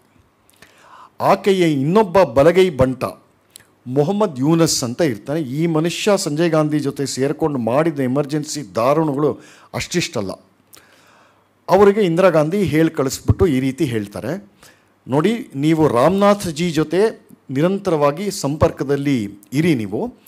ಇದಾದ ಮೇಲೆ ಏನಾಗುತ್ತೆ ಅಂತಂದರೆ, ಮೊಹಮ್ಮದ್ ಯೂನಸ್ ಮತ್ತು ಗೋಯಂಕ ಅವರ ನಡುವೆ ಒಂದು ದೀರ್ಘಕಾಲವಾದ, ದೀರ್ಘಕಾಲದ ಸ್ನೇಹಪೂರ್ವಕವಾದ ಸಂಬಂಧ ಏರ್ಪಾಟಾಗತ್ತೆ. ಇಬ್ಬರು ಅನೇಕ ಬಾರಿ ಭೇಟಿಯಾದಾಗ ಗೋಯಿಂಕಾ ಅವರು ಯೂನಸ್ ಹತ್ರ ಹತ್ತಾರು ರಹಸ್ಯವಾದಂತಹ ಫೈಲ್ಗಳನ್ನು ತೋರಿಸ್ತಾ ಹೋಗ್ತಾರೆ. ಅವುಗಳಲ್ಲಿ ಏನಿರುತ್ತೆ ಅಂತಂದರೆ, ಇಂದಿರಾ ಗಾಂಧಿ ಸರ್ಕಾರದ ಅನೇಕ ದೊಡ್ಡ ಸ್ಥಾನದಲ್ಲಿದ್ದಂತಹ ಮಂತ್ರಿಗಳು, ಬೇರೆ ಬೇರೆ I A S, I F S, I P S ಅಧಿಕಾರಿಗಳು, ಇವರೆಲ್ಲ ಮಾಡ್ತಾ ಇದ್ದಂತಹ ಭಯಾನಕವಾದ ಭ್ರಷ್ಟಾಚಾರ ಅವರು ಯಾವ ರೀತಿ ದೇಶ ವಿರೋಧಿ ಶಕ್ತಿಗಳ ಜೊತೆ ಇಟ್ಕೊಂಡಿದ್ದ ಸಂಬಂಧಗಳ ಪೂರ್ತಿ ವಿವರ ಇತ್ತು. ಇದು ಮೊಹಮ್ಮದ್ ಯೂನಸ್ ಇಂದಿರಾ ಗಾಂಧಿ ಅವರಿಗೆ ಇಂಥ ಫೈಲ್ ಎಲ್ಲ ತೋರಿಸಿದಾಗ ಅವ್ರು ಹೇಳೋ ಒಂದೇ ಮಾತು, ಇದು ನನಗೇ ಗೊತ್ತಿರಲಿಲ್ಲ ಅಂತ. ಈ ಮಟ್ಟದಲ್ಲಿತ್ತು ಇವರ ನೆಟ್ವರ್ಕು. ಸೊ ಮತ್ತೊಮ್ಮೆ ಇಂಡಿಯನ್ ಎಕ್ಸ್ಪ್ರೆಸ್ ಕಡೆ ನಾವು ಬರೋಣ. ಸಾವಿರದ ಒಂಬೈನೂರ ಎಂಬತ್ತೊಂದರ ಹೊತ್ತಿಗೆ ಎಸ್ ಮಲ್ಗಾವ್ಕರ್ ಅವರು ನಿವೃತ್ತಿಯ ಅಂಚಿನಲ್ಲಿ, ಅಂಚಿಗೆ ಬಂದಿರ್ತಾರೆ. ಸಾಕಷ್ಟು ವಯಸ್ಸು ಕೂಡ ಅವ್ರಿಗಾಗಿರುತ್ತೆ. ಹೀಗಾಗಿ ಗೋಯಂಕ ಇವರ ಜಾಗಕ್ಕೆ ಹೊಸಬ್ರನ್ನ ಹುಡುಕ್ತಾ ಇರ್ತಾರೆ. ಆಗ ಅವರಿಗೆ ಸಿಕ್ಕಿದ್ದು ಸ್ಟೇಟ್ಸ್ಮ್ಯಾನ್ ಪತ್ರಿಕೆಯ ಒಬ್ಬ ಹಿರಿಯ ಸಂಪಾದಕ ನಿಹಾಲ್ ಸಿಂಗ್ ಅಂತ. ಆದರೆ ಆತನನ್ನು ತಂದ ತಕ್ಷಣ ಕುಲ್ದೀಪ್ ನಾಯರ್ ಇರ್ತಾರಲ್ಲ, ಅವ್ರು ಇನ್ನೂ ಇಂಡಿಯನ್ ಎಕ್ಸ್ಪ್ರೆಸ್ಸಲ್ಲಿ ಇರ್ತಾರೆ. ಇಂಡಿಯನ್ ಎಮರ್ಜೆನ್ಸಿ ಆದಮೇಲೆ ತಿರ್ಗಾ ಬಂದಿರ್ತಾರೆ. ಈ ನಿಹಾಲ್ ಸಿಂಗನ್ನು ಮುಖ್ಯ ಸಂಪಾದಕನ ಸ್ಥಾನ ತಂದ ತಕ್ಷಣ ಕುಲ್ದೀಪ್ ನಯ್ಯರು ಅವ್ರ ತ್ಯಾಗಪತ್ರವನ್ನು ಕೊಟ್ಟು ಹೊರಗಡೆ ಹೊರಟೋಗ್ತಾರೆ. ಆಕೆಯ ಅವ್ರಿಗೂ ಇವ್ರಿಗೂ ಅಷ್ಟಾಗಿ ಆಗಬರಲ್ಲ ಇದು ಈ ನಿಹಾಲ್ ಸಿಂಗ್ ಬಂದ ಮೇಲೆ ಮತ್ತು ಹೊಸ ಟ್ಯಾಲೆಂಟ್ ಹುಡುಕ್ತಾ ಇರ್ತಾರಲ್ಲ, ಆ ಘಟ್ಟ ಇದೆಯಲ್ಲ, ಅದು ಇಂಡಿಯನ್ ಎಕ್ಸ್ಪ್ರೆಸ್ ಪತ್ರಿಕೆ ಇತಿಹಾಸದಲ್ಲಿ ಒಂದು ಹೊಸ ಪರ್ವದ ಆರಂಭ ಅಂತ ಹೇಳಿದರೆ ತಪ್ಪಾಗೋದಿಲ್ಲ. ಪತ್ರಿಕೆಯ ಸಂಪಾದಕ ವರ್ಗದಲ್ಲಿ ಹೊಸ ಉತ್ಸಾಹದ ಬಿಸಿ ರಕ್ತದ ಸಂಚಾರವಾಗುತ್ತೆ. ಸರಿಸುಮಾರು ಅದೇ ಸಮಯದಲ್ಲಿ ರಾಮನಾಥ್ ಗೋಯಿಂಕಾ ಅವರು ಇಬ್ಬರು ತೀಕ್ಷ್ಣಮತಿಯ ಯುವಕರನ್ನು ಪತ್ರಿಕೆಗೆ ಅದೇ ಸಮಯದಲ್ಲಿ ತರ್ತಾರೆ. ಸಾವಿರದ ಒಂಬೈನೂರ ಎಪ್ಪತ್ತೊಂಬತ್ತರಲ್ಲಿ ಅರುಣ್ ಶೌರಿ ಗೋಯಂಕಾ ಅವರ ವ್ಯಕ್ತಿ ಪ್ರಭಾವಕ್ಕೆ ಮತ್ತು ಅವರ ದೇಶಭಕ್ತಿಗೆ ಪೂರ್ತಿ ಸಂಪೂರ್ಣವಾಗಿ ಸೋತೋಗ್ಬಿಟ್ಟು ವರ್ಲ್ಡ್ ಬ್ಯಾಂಕ್ ಅಂತಹ ದೊಡ್ಡ ಸಂಬಳದ ಉದ್ಯೋಗ ಮತ್ತು ಐಷಾರಾಮಿ ಜೀವನ ಇರ್ತಲ್ಲ ಅದನ್ನು ಬಿಟ್ಟು ಇಂಡಿಯನ್ ಎಕ್ಸ್ಪ್ರೆಸ್ನ ಸಂಪಾದಕರಾಗಿ ಸೇರಿಕೊಳ್ತಾರೆ. ಗೋಯಂಕ ಅವರು ಶೌರಿಯನ್ನು, ಶೌರಿಗೆ ಆಗಾಗ ಒಂದು ಮಾತು ಹೇಳ್ತಾ ಇರ್ತಾರೆ, ಏ ಮೇರಾ ರೇಸ್ ಕಾ ಗೋಡಾ ಹೇ ಅಂತ. ಅದೇ ರೀತಿ ಸಾವಿರದ ಒಂಬೈನೂರ ಎಂಬತ್ತೈದರಲ್ಲಿ ಪ್ರತಿಷ್ಠಿತ ಚಾರ್ಟರ್ಡ್ ಅಕೌಂಟೆಂಟ್ ಆಗಿದ್ದಂತಹ ಎಸ್ ಗುರುಮೂರ್ತಿ ಅಧಿಕೃತವಾಗಿ ಗೋಯಂಕ ಅವರು ಇಂಡಿಯನ್ ಎಕ್ಸ್ಪ್ರೆಸ್ ಪತ್ರಿಕೆಗೆ ಸೇರಿಕೊಳ್ತಾರೆ. ಮತ್ತು ಕೊನೆ ತನಕ ಆ ಎಕ್ಸ್ಪ್ರೆಸ್ ಗ್ರೂಪ್ಗೆ ಫೈನಾನ್ಷಿಯಲ್ ಅಡ್ವೈಸರ್ ಕೂಡ ಆಗಿರ್ತಾರೆ. ಪತ್ರಿಕೆಯ ಈ ಹೊಸ ಪರ್ವಕ್ಕೆ ಅದನ್ನು ಒಂದು ಬೇರೆ ಹೊಸ ದಿಕ್ಕಿನಲ್ಲಿ ನಡೆಸಬೇಕು, ಪ್ರತಿಭಾವಂತ ಯುವಕರನ್ನು ತರಬೇಕು ಅನ್ನೋ ಗೋಯಂಕ ಅವರ ಸಂಕಲ್ಪಕ್ಕೆ ಒಂದು ಬಲವಾದ ಕಾರಣ ಇತ್ತು.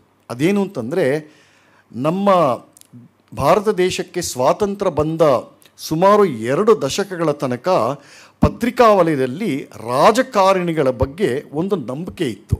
ಆ ನಂಬಿಕೆ ಏನು ಅಂತಂದರೆ ಇವರು ಅಂದರೆ ನಮ್ಮ ರಾಜಕಾರಣಿಗಳು ಆಗಾಗ ಅಲ್ಲಲ್ಲಿ ತಪ್ಪು ಮಾಡ್ತಾ ಇರಬಹುದು, ಏನೇನೋ ಅಗ್ಗದ ಮಾತಾಡಬಹುದು, ಆದರೆ ಅಂತರಂಗದಲ್ಲಿ ಅವರು ದುಷ್ಟರಲ್ಲ, ಭ್ರಷ್ಟರಲ್ಲ ಅಂತ ಒಂದು ಅಲ, ಅಲಿಖಿತ ನಂಬಿಕೆ ನಮ್ಮ ಪತ್ರಿಕಾ ರಂಗ ವಲಯದಲ್ಲಿತ್ತು. ಇದನ್ನು ಡಿ ವಿ ಜಿಯವರು ಒಂದು ಕಡೆ ಮಾರ್ಮಿಕವಾಗಿ ಬೇರೆ ಸಂದರ್ಭದಲ್ಲಿ ಹೇಳ್ತಾರೆ. ಯಾವುದೋ ಒಂದು ಪ್ರಸಂಗದ ಬಗ್ಗೆ ಬರಿತಾ ಯಾವನೊಬ್ಬ ಹಳ್ಳಿಯವನು ಎಷ್ಟೋ ವರ್ಷಗಳಿಂದ ಯಾವುದೋ ಒಂದು ಕೇಸ್ ನಡೆಸ್ತಾ ಇರ್ತಾನೆ. ಕೋರ್ಟ್ಗೆ ಅವಾಗ ಅವಾಗ ಹೋಗ್ತಾ ಇರ್ತಾನೆ. ಸಾಕ್ಷಿ ಕೊಡೋದಕ್ಕೆ ಹೋಗ್ತಾ ಇರ್ತಾನೆ. ಎಷ್ಟು ವರ್ಷ ಆದರೂ ಕೇಸು ಮುಗಿಯೋದೇ ಇಲ್ಲ ಅದು. ಒಂದು ಸಲ ಇವನಿಗೆ ಅದರಿಂದ ಪೂರ್ತಿ ಬೇಸರ ಆಗಿ ಸುಳ್ಳು ಸಾಕ್ಷಿ ಹೇಳ್ತಾನೆ. ಜಡ್ಜ್ ತಕ್ಷಣ ಅದನ್ನು ಕಂಡು ಹಿಡಿದ್ಬಿಟ್ಟು ಬೈತಾರೆ ಜಡ್ಜು. ಏನಯ್ಯ ನನ್ನ ಮುಂದೆನೇ ಎಲ್ಲರಿಗೂ ಗೊತ್ತಾದ, ಗೊತ್ತಾಗೋ ಹಾಗೆ ಸುಳ್ಳು ಸಾಕ್ಷಿ ಹೇಳ್ತಿಲ್ಲ ನಾಚಿಕೆ ಆಗಲ್ವಾ, ಭಯ ಆಗಲ್ವಾ ನಿಮಗೆ ಅಂತ. ಬುಡಿ ಸ್ವಾಮಿ ನನಗೆ ಯಾಕೆ ನಾಚಿಕೆ ಭಯ ಆಗಬೇಕು? ಎಲ್ಲ ಎಲ್ಲ ದೊಡ್ಡ ದೊಡ್ಡ ಗ್ರಂಥಗಳ ಮೇಲೆ ಸತ್ಯನೇ ಹೇಳ್ತೀನಿ, ದರ, ಧರ್ಮನೇ ಮಾಡ್ತೀವಿ ಅಂತ ದೊಡ್ಡ ದೊಡ್ಡ ಮಂತ್ರಿಗಳೇ ಸುಳ್ಳು ಹೇಳ್ತಾರಲ್ಲ?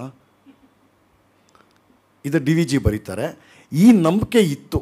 About our ruling class, they are clean ಅಂತರಂಗದಲ್ಲಿ ಅವರು ದುಷ್ಟರು ಭ್ರಷ್ಟರು ಅಂತ ತಿಳ್ಕೊಂಡಿರಲಿಲ್ಲ. ಆದರೆ ಯಾವಾಗ ಇಂದಿರಾ ಗಾಂಧಿ ಸಾವಿರದ ಒಂಬೈನೂರ ಅರವತ್ತೊಂಬತ್ತರಲ್ಲಿ ಕಾಂಗ್ರೆಸ್ ಪಕ್ಷ ಒಡಿತಾರೋ, ಅದರ ಬೆನ್ನಲ್ಲಿ ರಾಜಕಾರಣಕ್ಕೆ ನುಗ್ಗಿದಂತಹ ವ್ಯಕ್ತಿಗಳು ಆದ್ಯಂತ ಟಾಪ್ ಟು ಬಾಟಮ್ ದುಷ್ಟರು ಮತ್ತು ಕನಿಷ್ಠ ಮಟ್ಟದ ಸಂಸ್ಕಾರ ಕೂಡ ಇಲ್ಲದಂಥವರು ಟೋಟಲ್ ಕ್ರಿಮಿನಲ್ಸ್. ಸೊ, ಅಲ್ಲಿಂದ ಸಾವಿರದ ಒಂಬೈನೂರ ಎಂಬತ್ತರ ದಶಕದ ಹೊತ್ತಿಗೆ ನಾವು ನೋಡೋ ಹಾಗಿದ್ರೆ, ಇಡೀ ರಾಜಕಾರಣ, ಇಡೀ ದೇಶದ ರಾಜಕಾರಣ ಇಂಥವರಿಂದ ತುಂಬ ತುಳುಕ್ತಾ ಇತ್ತು, ಈಗಲೂ ಅದೇ ಗತಿ.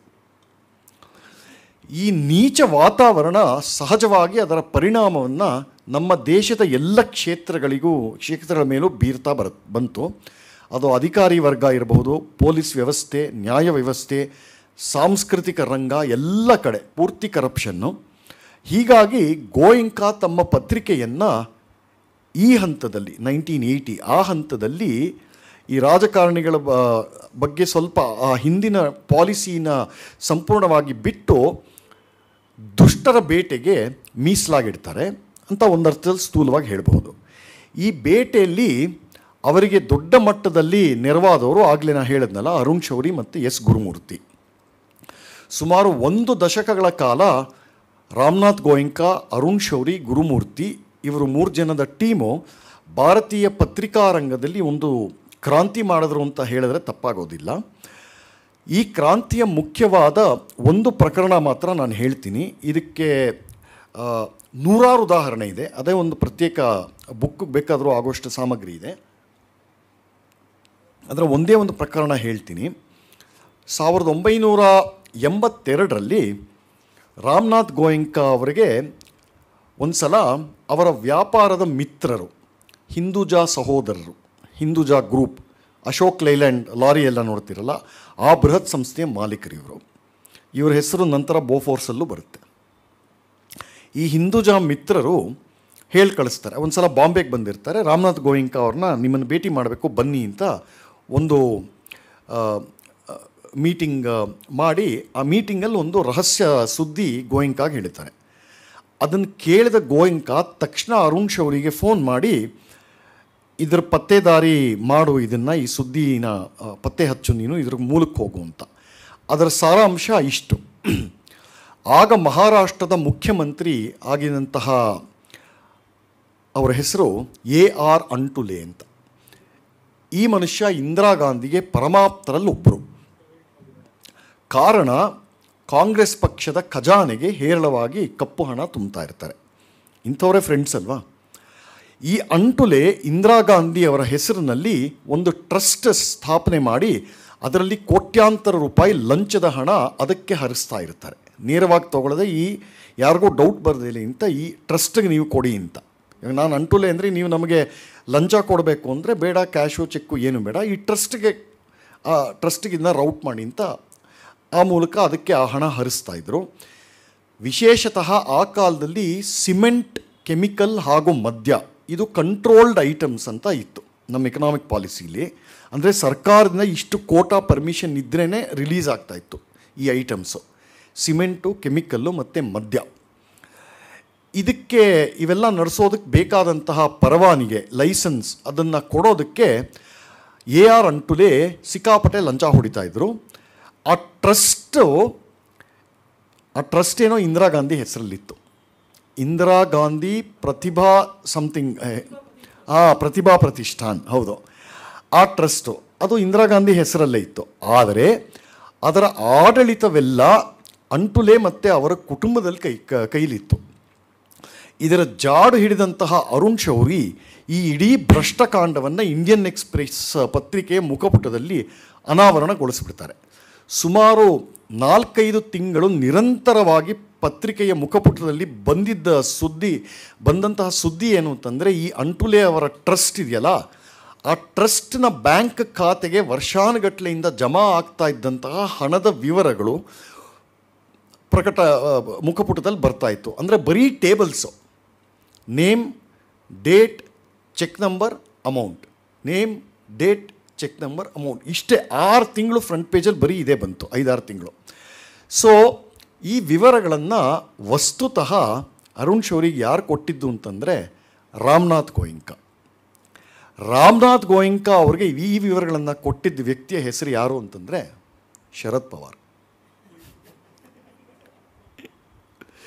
ಈ ಸಂದರ್ಭದಲ್ಲಿ ಗೋಯಿಂಕ ಅವರು ಒಂದು ಸಲ ಅರುಣ್ ಶೌರಿನ ಕರೆಸ್ಕೊಳ್ತಾರೆ. ಕರೆಸ್ಕೊಂಡು ನೀನು ಅಷ್ಟೊಂದು ದಿನದಿಂದ ಅಂಟುಲೆ ಟ್ರಸ್ಟ್ ನಿಂದಾರಿನೇ ನೀನು ಇದು ಪತ್ತೆದಾರಿ ಕೆಲಸ ಮಾಡ್ತಾ ಇದ್ದೆ ಭಾಳ ಒಳ್ಳೆಯದು ಅದರ ಅವ್ಯವಹಾರದ ಫ್ಯಾಕ್ಟ್ಸ್ ಆ್ಯಂಡ್ ಫಿಗರ್ಸ್ ಅಂಕಿಅಂಶ ಅಂಕಿಅಂಶಗಳು ಬೇಕಾ ಅಂತ ಕೇಳ್ತಾರೆ. ಹೌದು ಅಂತಾರೆ ಶೌರಿ. ಹಾಗಾದರೆ ಆ ಬದ್ಮಾಶ್ ಇದಾನಲ್ಲ, ಬೋಳಿ ಮಗ ಶರದ್ ಪವಾರು. ಅವನ ಹತ್ರ ಹೋಗು, ಎಲ್ಲ ಅವನ ಹತ್ರ ಇದೆ, ಅವನೇ ಕೊಡ್ತಾನೆ ಅಂತ. ಇದು ಅರುಣ್ ಶೌರಿ ತಮ್ಮ ಪುಸ್ತಕದಲ್ಲೇ ಬರ್ಕೊಂಡಿದ್ದಾರೆ. ಇಷ್ಟು ಇದಿದಿರೇ ಮಾತುಗಳಲ್ಲಿ. ಸೊ ಇದನ್ನು ಅರುಣ್ ಶೇರಿ ಅವ್ರ ಕೈ ತಲುಪಿಸಿದಂತಹ ವ್ಯಕ್ತಿಯ ಹೆಸರು ಅಜಿತ್ ಗುಲಾಬ್ ಚಂದ್ ಅಂತ. ಇವರು ಯಾರು ಗೊತ್ತಾ? ಬ್ಯಾಂಡ್ರಾ ವರ್ಲಿ ಸೀಲಿಂಕ್ ಬ್ರಿಡ್ಜ್ ಇದೆಯಲ್ಲ, ಅದನ್ನು ನಿರ್ಮಾಣ ಮಾಡಿದಂಥ ಕಂಪನಿ ಮಾಲೀಕರು, ಹಿಂದೂಸ್ತಾನ್ ಕನ್ಸ್ಟ್ರಕ್ಷನ್ ಕಂಪನಿ. ಈ ಅಂಟುಲೆ ಪ್ರಕರಣ ತಿಂಗಳುಗಟ್ಟಲೆ ಮಹಾರಾಷ್ಟ್ರವನ್ನು ಮತ್ತು ದೇಶವನ್ನು ಅಲ್ಲಾಡಿಸ್ಬಿಡ್ತು. ಆದರೂ ಕೂಡ ಇಂದಿರಾ ಗಾಂಧಿಯವರ ಕೃಪೆ ಇದ್ದ ಕಾರಣ ಅಂಟುಲೇ ತಮ್ಮ ಕುರ್ಚಿಗೆ ಅಂಟ್ಕೊಂಡೇ ಕೂತ್ಕೊಂಡ್ರು. ಆದರೆ ನ್ಯಾಯಾಲಯಕ್ಕೆ ಈ ವಿಷಯ ಹೋದಾಗ ಅಲ್ಲಿ ಅವರಿಗೆ ನನಗೆ ಸೋಲಾಗುತ್ತೆ ಅಂತ ಖಚಿತವಾದ ಮೇಲೆ ಅವರು ಮುಖ್ಯಮಂತ್ರಿ ಸ್ಥಾನಕ್ಕೆ ರಾಜೀನಾಮೆ ಕೊಟ್ಟು ಹೊರಗಡೆ ಬರ್ತಾರೆ. ಇದಾದ ಬಳಿಕ ಸರ್ಕಾರ ಮತ್ತು ಆಡಳಿತ ವರ್ಗ ಮತ್ತು ಇನ್ನು ಹತ್ತು ಹಲವು ಭ್ರಷ್ಟ ಉದ್ಯಮಿಗಳ ಕುಮ್ಮಕ್ಕಿದ್ದಂತಹ ಇನ್ನೊಂದು ಹಗರಣದ ಹೆಸರು ಯಾವುದು ಅಂತಂದರೆ ಕುವೋ ಆಯಿಲ್ ಹಗರಣ ಅಂತ. ಅದು ಹಾಂಗ್ಕಾಂಗ್ನಲ್ಲಿ ನಡೆದಂತಹ ಅದನ್ನು ಅದರ ಜಾಡ ಹಿಡಿದು ಹೋಗ್ತಾರೆ. ಇಂಡಿಯನ್ ಎಕ್ಸ್ಪ್ರೆಸ್ ಹೋಗುತ್ತೆ. ಅದು ಬೆಳಕಿಗೆ ಬಂದ ಮೇಲೆ ಗೋಯಂಕಾ ಮತ್ತು ಅರುಣ್ ಶೌರಿ ಅವರ ಮಧ್ಯ ಬಿರುಕು ಬಂದುಬಿಡುತ್ತೆ. ಇದರ ವಿವರ ಹೇಳೋದಕ್ಕೆ ಇಲ್ಲಿ ನನಗೆ ಸಮಯ ಇಲ್ಲ. ಅದೇ ಒಂದು ದೊಡ್ಡ ಕತೆ ಇದೆ. ಒಂದೇ ಒಂದು ಲೈನಲ್ಲಿ ಹೇಳೋ ಹಾಗಿದ್ದರೆ ಇದರಲ್ಲಿ ರಾಮನಾಥ್ ಗೋಯಿಂಕಾ ಮತ್ತು ಅರುಣ್ ಶೌರಿ ಅವರು ತಮ್ಮ ತಮ್ಮ ನಿಲುವಿನಲ್ಲಿ ಸರಿಯಾಗೇ ಇದ್ದರು ಅಂತ ಗೊತ್ತಾಗುತ್ತೆ. Both had their own reasons which are justifiable ಆದರೆ, ಶೌರಿ ಅವರು ತಮ್ಮ ಅತ್ಯುತ್ಸಾಹದಲ್ಲಿ ಒಂದು ದೃಷ್ಟಿಯಿಂದ ಪತ್ರಿಕಾರಂಗದ ಒಂದು ಧರ್ಮವನ್ನು ಮೀರಿ ನಡೆದುಕೊಂಡಿರ್ತಾರೆ. ಈ ಹಗರಣವನ್ನು ಗೋಯಿಂಕಾ ಅವರಿಗೆ ಯಾರಿಗೂ ಹೇಳದೆ ಎಂ, ನೇರವಾಗಿ ಎಂ, ಪಿಗಳಿಗೆ ಲೆಟರ್ ಬರೆದು ಕಳಿಸಿರ್ತಾರೆ. ಇದು ಒಂದು ಮಾಡಬಾರ್ದಂಥ ಕೆಲಸ ಇದು. ಒಂದು ಹೈಲಿ ಆ್ಯಕ್ಟ್ ಓವರ್ ಎಂಥೂಸಿಯಾಸಮಿಂದ ಮಾಡಿರೋ ಕೆಲಸ. ಇದರಿಂದ ಗೋಯಿಂಕಾ ಅವರಿಗೆ ಸಾಕಷ್ಟು ಹಣನಷ್ಟ ಮಾನನಷ್ಟ ಹಾನಿ, ಅವಮಾನ ಎಲ್ಲ ಆಗಿರುತ್ತೆ. ಸೊ ಬೇರೆ ದಾರಿ ಕಾಣದೆ ಶೌರಿ ಅವರನ್ನು ಸಾವಿರದ ಒಂಬೈನೂರ ಎಂಬತ್ತೆರಡರಲ್ಲಿ ಕೆಲಸದಿಂದ ವಜಾ ಮಾಡ್ತಾರೆ. ಆಮೇಲೆ ಎರಡು ವರ್ಷದ ನಂತರ ಇಂದಿರಾ ಗಾಂಧಿ ಅವರು ಹತ್ಯೆ ಆಗುತ್ತೆ. ಇವೆಲ್ಲ ಗೊತ್ತೇ ಇದೆ. ಕತೆ ನಮಗೆ ಅವೆಲ್ಲ ಹೇಗಾಯಿತು ಅಂತ. ಅದಾದ ಮೇಲೆ ರಾಜೀವ್ ಗಾಂಧಿ ಪ್ರಧಾನಮಂತ್ರಿ ಆಗಿದ್ದು ಇದು ಕೂಡ ನಮಗೆ ಗೊತ್ತೇ ಇರೋಂತಹ ಕತೆ. ಆ ತರುಣದಲ್ಲಿ ಕಾಂಗ್ರೆಸ್ ಪಕ್ಷ ಮತ್ತು ಸರ್ಕಾರ ನಡೆಸಿದಂತಹ ಸಿಕ್ಕರ ನರಮೇಧ ಇದೆಯಲ್ಲ, ಆ ಕಥೆನೂ ನಮಗೆಲ್ಲ ಪರಿಚಯ ಇರುವಂಥದ್ದೇ. ಆಗ ರಾಮನಾಥ್ ಗೋಯಿಂಕ ಅವರು ದೆಹಲಿ ಮತ್ತು ಅದರ ಸುತ್ತಮುತ್ತಲ ಪ್ರದೇಶದಲ್ಲಿ ನೂರಾರು ಸಿಖ್ಖರ, ನಿರಾಶ್ರಿತ ಸಿಖ್ಖರ ಕುಟುಂಬಗಳಿಗೆ ನೆರವು ಕೊಡ್ತಾರೆ. ಇಂಡಿಯನ್ ಎಕ್ಸ್ಪ್ರೆಸ್ ಸಂಸ್ಥೆ ಕಡೆಯಿಂದ ಹದಿನೇಳು ಲಕ್ಷ ರೂಪಾಯಿ ನಿಧಿ ಕೊಡ್, ಮೀಸಲಾಗಿಡ್ತಾರೆ. ಬೇರೆ ಬೇರೆ ಏರಿಯಾದಲ್ಲಿ ಮನೆಗಳನ್ನು ಪುನರ್ನಿರ್ಮಾಣ ಕೂಡ ಮಾಡಿಕೊಡ್ತಾರೆ ಗೋಯಂಕ ಅವರು. ಇನ್ನೊಂದು ಕಡೆ ಇಂದಿರಾ ಗಾಂಧಿ ಕುರಿತು ಒಟ್ಟು ಸಮೀಕ್ಷೆಯ ಒಂದು ಲೇಖನವನ್ನು ನೀವು ಬರೀರಿ ಅಂತ ತಮ್ಮ ಸಂಪಾದಕರಿಗೆ ಗೋಯಂಕ ಹೇಳ್ತಾರೆ. ಆಗ ಆ ಸಂಪಾದಕರ ಪೈಕಿ ಧರ್ ಅಂತ ಒಬ್ಬರಿರ್ತಾರೆ ಅವರು ಆಕೆಯನ್ನು ಹುಚ್ಚಾಪಟ್ಟೆ ಹೊಗಳ್ಬಿಟ್ಟು ಸಂಪಾದಕೀಯವನ್ನು ಬರೆದು ಬಿಡ್ತಾರೆ ಟ್ರಿಬ್ಯೂಟ್ ಬರೆದು ಬಿಡ್ತಾರೆ ಇದನ್ನು ಓದಿದ ತಕ್ಷಣ ರಾಮ್, ರಾಮನಾಥ್ ಗೋಯಿಂಕ ಅವರು ಖುದ್ದು ಹೋಗಿ ಆ ಮನುಷ್ಯನ ಕರೆಸ್ಕೊಂಡು ನೇರವಾಗಿ ಅವ್ರ ಮುಖಕ್ಕೆ ಈ ರೀತಿ ಬೈತಾರೆ, ನಿನ್ನ ಇಂದಿರಾ ಗಾಂಧಿ ಗುಣಗಾನ ನನ್ನ ಇಡೀ ಜೀವನದ ಧ್ಯೇಯ ಆದರ್ಶಗಳ ಮೇಲೆ ಕೊಚ್ಚೆ ಎರಚಿದೆ ಅಂತ. ಅಂದರೆ ಇದು ಕ್ವರ್ಕ್ಸ್ ಆಫ್ ಕ್ಯಾರೆಕ್ಟರ್ ಇದು ಒಂದು ಒಳ್ಳೆ ಡ್ರಾಮಾ ಭಾಳ ಡ್ರಮ್ಯಾಟಿಕ್ ಎಲಿಮೆಂಟ್ಸ್ ಇದೆ. ಗೋಯಿಂಕಾ ಅವ್ರ ಕ್ಯಾರೆಕ್ಟರ್ ಮತ್ತು ಅವ್ರ ಲೈಫಲ್ಲಿ. ಸರಿ, ರಾಜೀವ್ ಗಾಂಧಿಗೆ ಚುನಾವಣೆಯಲ್ಲಿ ಅಭೂತಪೂರ್ವವಾದ ಬಹುಮತ ಸಿಕ್ಕಿತ್ತು. ಬರೋಬ್ಬರಿ ನಾನ್ನೂರ ಹದಿಮೂರು ಸೀಟ್ ಲೋಕಸಭೆ. ಇದನ್ನು ನ ನ ಭವಿಷ್ಯತಿ. ದೇವರು ಬಂದು ಎಲೆಕ್ಷನ್ ನಿಂತ್ಕೊಂಡ್ರೂ ಇದು ಈ ಈ ಅಂಕೆ ಸಿಗೋದಿಲ್ಲ ಯಾರಿಗೂ. ಅಧಿಕಾರಕ್ಕೆ ಬಂದ ಹೊಸ್ತರಲ್ಲಿ ರಾಜೀವ್ ಗಾಂಧಿ ಮಹತ್ತರವಾದ ಬದಲಾವಣೆ ತರ್ತೀನಿ, ದೇಶದ ಭವಿಷ್ಯನೇ ಬದಲಾಯಿಸ್ಬಿಡ್ತೀನಿ ಕಡ್ದು ಹಾಕ್ಬಿಡ್ತೀನಿ ಹಾ, ಹೂ ಅಂತ ಭಾಳ ಪ್ರಚಂಡವಾಗಿ ಗುಡುಗುತ್ತಾರೆ. ಗೋಯಂಕ ಅವರಿಗೆ ಇದರಿಂದ ಸಂತೋಷ ಆಗುತ್ತೆ. ಮತ್ತು ಈ ಯುವ ಪ್ರಧಾನಮಂತ್ರಿಗೆ ನಮ್ಮ ಕೈಲಾದ ಸಹಾಯ ಮಾಡೋಣ ಅಂತ ಪಾಪ ಅವ್ರ ಕಡೆಯಿಂದ ಅವರು ತಿಳ್ಕೊಳ್ತಾರೆ. ಅದೇ ರೀ, ಆದರೆ ಎರಡೇ ವರ್ಷದ ಒಳಗೆ ರಾಜೀವ್ ಗಾಂಧಿ ಸರ್ಕಾರವು ನೆಹರು ರಕ್ತಕ್ಕೆ ಸ್ವಂತವಾಗಿರುವಂತಹ ಸರ್ವಾಧಿಕಾರಿ ಧೋರಣೆಯನ್ನು ಮುಂದುವರಿಸುತ್ತೆ. ಮುಖ್ಯವಾಗಿ ರಾಜೀವ್ ಗಾಂಧಿ ಸುತ್ತ ಇದ್ದಂತಹ ಬಳಗ ಯಾವುದು ಅಂತಂದರೆ ಅವರ ಡೂನ್ ಸ್ಕೂಲ್ ಅವರ ದೋಸ್ತಿಗಳು, ಕಾಲೇಜ್ ಸ್ನೇಹಿತರು, ಅವರ ವಿಮಾನದ ಏರ್ಲೈನ್ಸ್ ಆಗಿರ್ತಾರಲ್ಲ, ಆ ಪೈಲಟ್ ಫ್ರೆಂಡ್ ಸರ್ಕಲ್ಲು, ಮತ್ತು ಬೇರೆ ಬೇರೆ ಮಂತ್ರಿಗಳು, ಇವರೆಲ್ಲ ನಡೆಸಿದಂತಹ ಉಪಟಲಗಳು ಇಡೀ ದೇಶವನ್ನು ಬೆಚ್ಚಬೀಳಿಸಿತ್ತು ಇದು ಒಂದು ಘಟನೆ ಹೇಳಲೇಬೇಕು ಭಾಳ ಟೆಂಪ್ಟ್ ಆಗ್ತಾ ಇದೆ. ಈ ಮನುಷ್ಯ ಪ್ರಧಾನಮಂತ್ರಿ ಆಗಿದ್ದ ಹೊಸ್ತರಲ್ಲಿ ಅವರು ಡೂನ್ ಸ್ಕೂಲಿಂದ ಓ, ಅಲ್ಲಿ ಓದಿದ್ದಲ್ವಾ? ಡೆಹ್ರಾಡೂನಲ್ಲಿದೆ ಅದು, ಡೂನ್ ಸ್ಕೂಲು. ಅದರ ಒಂದು ರಿಯೂನಿಯನ್ ಆಗುತ್ತೆ ಓಲ್ಡ್ ಸ್ಟೂಡೆಂಟ್ಸ್ ರಿಯೂನಿಯನ್ ಆಗುತ್ತೆ. ಅದಕ್ಕೆ ಈಗ ಪ್ರಧಾನಮಂತ್ರಿಗಳಲ್ಲ, ಘನವಾಗಿ ನಿಮಗೆ ಆತಿಥ್ಯ ಕೊಡಲೇಬೇಕು. ಆತಿಥ್ಯ ಕೊಡೋಕ್ಕೆಲ್ಲ ಅರೇಂಜ್ಮೆಂಟ್ ಆಗ್ತಾ ಇದ್ದಾಗ ಆಗಿನ ಆಗಿನ ಹೋಮ್ ಮಿನಿಸ್ಟರ್ ಆಗಿದ್ದವ್ರ ಹೆಸರು ಬೂಟಾ ಸಿಂಗ್ ಅಂತ. ಅವರು ಡೂನ್ ಸ್ಕೂಲ್ಗೆ ಫೋನ್ ಮಾಡಿ ರಾಜೀವ್ ಗಾಂಧಿ ಅವರ ಬಾಡಿ ಮೆಜರ್ಮೆಂಟ್ಸ್ ಕಳಿಸಿ ಅದಕ್ಕೆ ಅವರ ಆ ಕಾಲದ ಯೂನಿಫಾರ್ಮ್, ಸ್ಕೂಲ್ ಯೂನಿಫಾರ್ಮ್ ಹಾಕೋಬೇಕಲ್ಲ ಅವ್ರ ಬಾಡಿ ಮೆಜರ್ಮೆಂಟ್ಸ್ ಎಲ್ಲ ಕಳಿಸಿ, ಫ್ಯಾಕ್ಸ್ ಮಾಡಿ, ಫೋನ್ ಮಾಡಿ, ಈ ತಯಾರಾಗಿರೋ ಯೂನಿಫಾರ್ಮ್ ನಾಳೆ ಮಧ್ಯಾಹ್ನ ನಮಗೆ ಕಳಿಸ್ಬೇಕು ಅಂತ. So within twenty four hours uniform ತಯಾರು ಮಾಡಿ, ಆ ಯೂನಿಫಾರ್ಮು ಡೆಲ್ಲಿಗೆ ಬರೋದಕ್ಕೆ, ಆ ಯೂನಿಫಾರ್ಮ್ ಮಾತ್ರ ಬರೋದಕ್ಕೆ ಭಾರತ ಸರ್ಕಾರದ ಒಂದು ವಿಮಾನ ಮೀಸಲಿಡ್ತಾರೆ. ಸೊ ಇಂಥ ಅನೇಕ ಸಂಗತಿಗಳು, ಬೆಚ್ಚಿ ಬೀಳಿಸುವಂಥ ಅನೇಕ ಸಂಗತಿಗಳು ನಡೀತು. ಇದಕ್ಕೆ ಒಂದು ದೊಡ್ಡ ನಿದರ್ಶನ ಕೊಡೋ ಹಾಗಿದ್ದರೆ ರಾಜೀವ್ ಗಾಂಧಿ ಸರ್ಕಾರ ಪತ್ರಿಕೆಗಳಿಗೆ ಕಡಿವಾಣ ಹಾಕಬೇಕು ಅಂತ ಮಾಡಿದಂತಹ ಒಂದು ಪ್ರಯತ್ನ, ಒಂದು ಇದಕ್ಕೆ, ಆ ಪ್ರಯತ್ನದ ಅಂಗವಾಗಿ ತಂದಂತಹ ಒಂದು ಕಾನೂನು ಡೆಫಮೇಷನ್ ಬಿಲ್ ಅಂತ. ಅದರ ಕರಡು ತಯಾರು ಮಾಡ್ತಾರೆ. ಆದರೆ ಅದರ ವಿರುದ್ಧ ಗೋಯಂಕ ಅವರೇ ಮುಂದೆ ನಿಂತು ಡೆಮಾನ್ಸ್ಟ್ರೇಷನ್ ಎಲ್ಲ ಮಾಡಿ, ಜಂತರ್ ಮಂತರು ಪಾರ್ಲಿಮೆಂಟು ಇಲ್ಲೇ ಬೀದಿಲಿ ಡೆಮಾನ್ಸ್ಟ್ರೇಷನ್ ಎಲ್ಲ ಮಾಡ್ತಾರೆ, ದೊಡ್ಡ ಗುಂಪು ಇಟ್ಕೊಂಡು. ಅದರ ವಿರುದ್ಧ ಹೋರಾಡಿದ ಮಾತ್ರ ಅಲ್ಲ, ಭಾರತದ ಪತ್ರಿಕಾ ಸಮೂಹವನ್ನು ಮತ್ತೆ ಸಂಘಟನೆ ಮಾಡಿ ಆ ಕಾನೂನು ಜಾರಿಗೆ ಬರದಂತೆ ತಡಿತಾರೆ. ಇದರ ಜೊತೆಗೆ ಇನ್ನೊಂದು ಕಡೆ ರಾಮನಾಥ್ ಗೋಯಂಕ ಅವರು ಧೀರುಬಾಯಿ ಅಂಬಾನಿ, ಆಗಷ್ಟೇ ಪ್ರಸಿದ್ಧಿಗೆ ಬರ್ತಾ ಇದ್ದಂತಹ ಧೀರುಬಾಯಿ ಅಂಬಾನಿಯವರ ರಿಲಯನ್ಸ್ ಇಂಡಸ್ಟ್ರೀಸ್ ವಿರುದ್ಧ ತೊಡೆ ತಟ್ಟಿ ಯುದ್ಧಕ್ಕೆ ನಿಲ್ತಾರೆ. ಇದು ಭಾರತೀಯ ವಾಣಿಜ್ಯ, ರಾಜಕೀಯ ಇತಿಹಾಸದ ಒಂದು ಅತ್ಯಂತ ಹೀನ ಕರಾಳ ಗಾಥೆ ಅಂತಲೇ ಹೇಳಬೇಕಾಗತ್ತೆ. ವಿವರ ಹೇಳೋಕ್ಕಾಗಲ್ಲ, ಸಮಯ ಇಲ್ಲ. ಆದರೆ ಅದರ ಒಟ್ಟು ಪರಿಣಾಮ ಏನು ಅಂತಂದರೆ, ರಾಜೀವ್ ಗಾಂಧಿ ಸರ್ಕಾರ ರಾಮನಾಥ್ ಗೋಯಿಂಕ ವಿರುದ್ಧ ಯುದ್ಧ ಪ್ರಾರಂಭ ಆಗುತ್ತೆ. ಯಾಕಂದರೆ they were close to Dhirubhai Ambani, Reliance Industries. ಎರಡು ಮೂರು ವರ್ಷ ಸತತವಾಗಿ ರಾಮನಾಥ್ ಗೋಯಿಂಕಾ ಅವರನ್ನು ಭೇಟಿ ಮಾಡುತ್ತೆ. ಸೆಪ್ಟೆಂಬರ್ ಸಾವಿರದ ಒಂಬೈನೂರ ಎಂಬತ್ತಾರರಲ್ಲಿ ಭಾರತದಾದ್ಯಂತ ಎಲ್ಲ ಇಂಡಿಯನ್ ಎಕ್ಸ್ಪ್ರೆಸ್ ಕಚೇರಿಗಳ ಮೇಲೆ ಅಧಿಕಾರಿಗಳು ದಾಳಿ ಮಾಡ್ತಾರೆ. ಸಾವಿರದ ಒಂಬೈನೂರ ಎಂಬತ್ತೇಳರಲ್ಲಿ ಅದೇ ಎಸ್ ಗುರುಮೂರ್ತಿ ಇರ್ತಾರಲ್ಲ, ಅವರನ್ನು ಮದ್ರಾಸ್ನಲ್ಲಿ ಅರೆಸ್ಟ್ ಮಾಡಿ ಜೈಲಿಗೆ ಕಳಿಸ್ತಾರೆ. ಇದಕ್ಕೆ ಗೋಯಂಕ ಪ್ರತಿದಾಳಿ ಮಾಡ್ತಾರೆ. ಅದೇ ವರ್ಷ ರಾಷ್ಟ್ರಪತಿ ಜೈಲ್ ಸಿಂಗ್. ಈತನಿಗೂ ರಾಜೀವ್ ಗಾಂಧಿಗೂ ಎಣ್ಣೆ ಸಿಗಕ್ಕೆ ಪೂರ್ತಿಯಾಗಿ ಅವರು ಇದನ್ನು ಹಳಸೋರು, ಸಂಬಂಧ ಹಳಸೋ ಹೋಗಿರುತ್ತೆ ಜೈಲ್ ಸಿಂಗು ಮತ್ತು ರಾಜೀವ್ ಗಾಂಧಿ ಅದಕ್ಕೊಂದು ದೊಡ್ಡ ಕಾರಣ ಸಿಕ್ಕರ ನರಮೇಧ, ಅದಕ್ಕೆ ನೀನು ನ್ಯಾಯ ಮಾಡಿಲ್ಲ ಅನ್ನೋ ಒಂದು ಕೋಪ ಇರುತ್ತೆ ಜೈಲ್ ಸಿಂಗು. ಆಮೇಲೆ ಬರ್ತಾ ಬರ್ತಾ ನಾನೇ ಸರ್ವಾಧಿಕಾರಿ, ನನಗೆ four hundred and thirteen Lok Sabha M P ಇದೆ, ಯಾರೋ ಮುಟ್ಟಕ್ಕಾಗಲ್ಲ ಅಂತ ಎಷ್ಟೊಂದು ಆಜ್ಞೆಗಳನ್ನು ರಾಷ್ಟ್ರಪತಿಗಳನ್ನು ಬೈಪಾಸ್ ಮಾಡಿ ಡೈರೆಕ್ಟಾಗಿ ಪಾಸ್ ಮಾಡ್ತಾಯಿದ್ರು ಇವರು ಅವರು ತುಂಬ ಫ್ರಿಕ್ಷನ್ ಇತ್ತು. ಸೊ ಇವರು ಒಂದು ಸೇಡಿಗೆ ಕಾಯ್ತಾಯಿದ್ರು ಜೈಲ್ ಸಿ, ಜೈಲ್ ಸಿಂಗ್ ಅವರು ರಾಜೀವ್ ಗಾಂಧಿ ಸರ್ಕಾರವನ್ನು ವಜಾ ಮಾಡ್ತೀನಿ ಅಂತ ನಿರ್ಧಾರ ಮಾಡ್ತಾರೆ. ಅದನ್ನು ಪತ್ರದ ಮೂಲಕ ಪ್ರಧಾನಮಂತ್ರಿಗೆ ಕಳಿಸ್ಕೊಡ್ತಾರೆ. ಈ ಪತ್ರವನ್ನು ಯಥಾವತ್ತಾಗಿ ರಾಮನಾಥ್ ಗೋಯಿಂಕ ಇಂಡಿಯನ್ ಎಕ್ಸ್ಪ್ರೆಸ್ಸಲ್ಲಿ ವರ್ಬ್ಯಾಟಿಮ್ ಪ್ರಕಟ ಮಾಡಿಬಿಡ್ತಾರೆ.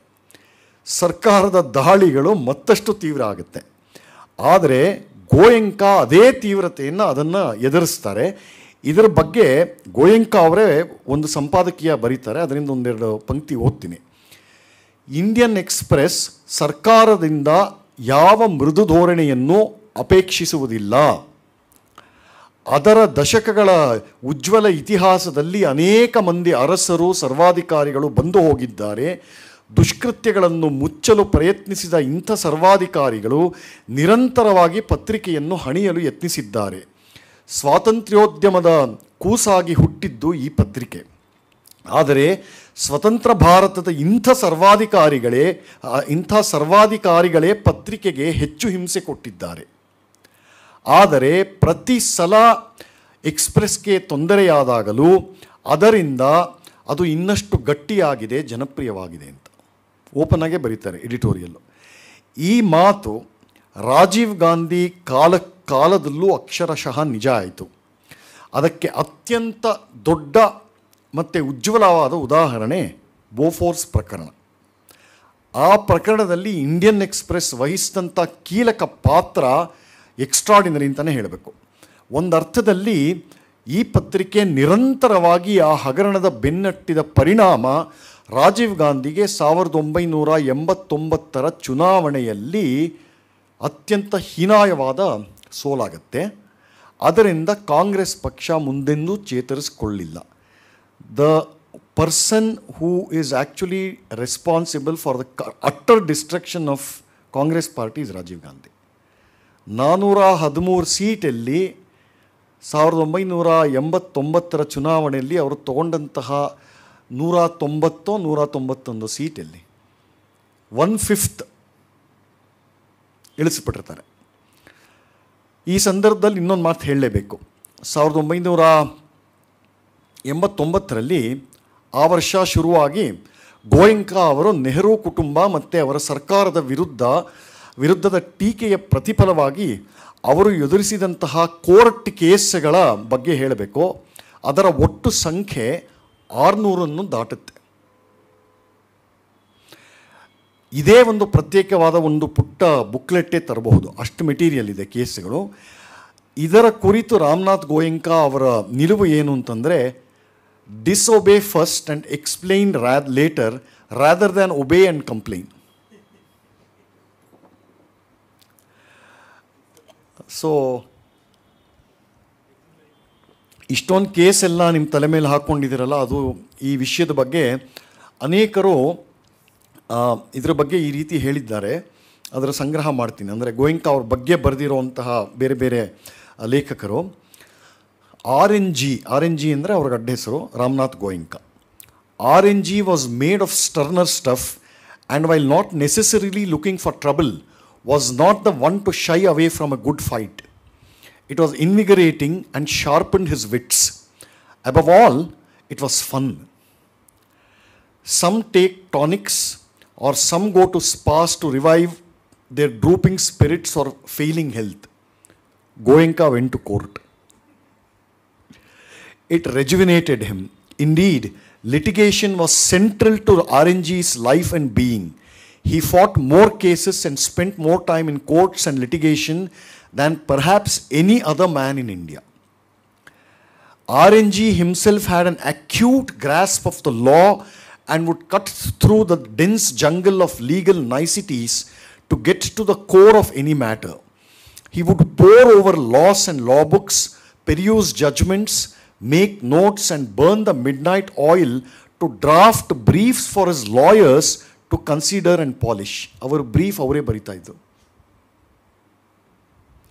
Many were impressed by his intuitive knowledge of what would appeal to the bench.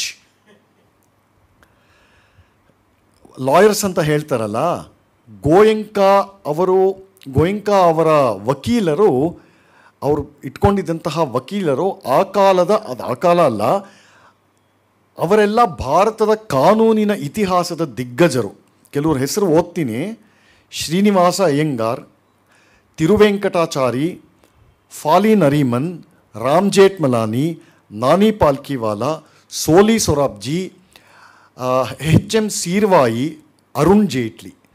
ಇಂಥವರೇ ಬೆರಗಾಗುವಂತಹ ಕಾನೂನಿನ ಮೇಲೆ ಹಿಡಿತ ಇಟ್ಕೊಂಡಿದ್ದವರು ರಾಮನಾಥ್ ಗೋಯಿಂಕ. ನೆನಪಿರಲಿ, ಈ ಮನುಷ್ಯ ಎಸ್ ಎಸ್ ಎಲ್ ಸಿ ಕೂಡ ಪಾಸ್ ಆಗಿರಲಿಲ್ಲ ಒಮ್ಮೆ ಅವರ ಆಪ್ತ ಬಳಗಲ್ಲಿ ಬಳಗಲ್ಲಿದ್ದವರು ಅವ್ರ ಹತ್ರ ಒಂದು ಕೇಳ್ತಾರೆ, ರಾಮನಾಥ್ ಜಿ, ಇಷ್ಟೆಲ್ಲ ಮೊಕದ್ದಮೆಗಳು, ಇಷ್ಟೆಲ್ಲ ದ ಕೇಸ್ಗಳು ನಿಮ್ಮ ವಿರುದ್ಧ ಇದೆ, ನಿಮಗೆ ಭಯವಾಗುವುದಿಲ್ಲವೇ? ಅಂತ. ಅದಕ್ಕೆ ರಾಮನಾಥ್ ಗೋಯಂಕ ಕೊಟ್ಟ ಉತ್ತರ ಏನು ಗೊತ್ತಾ?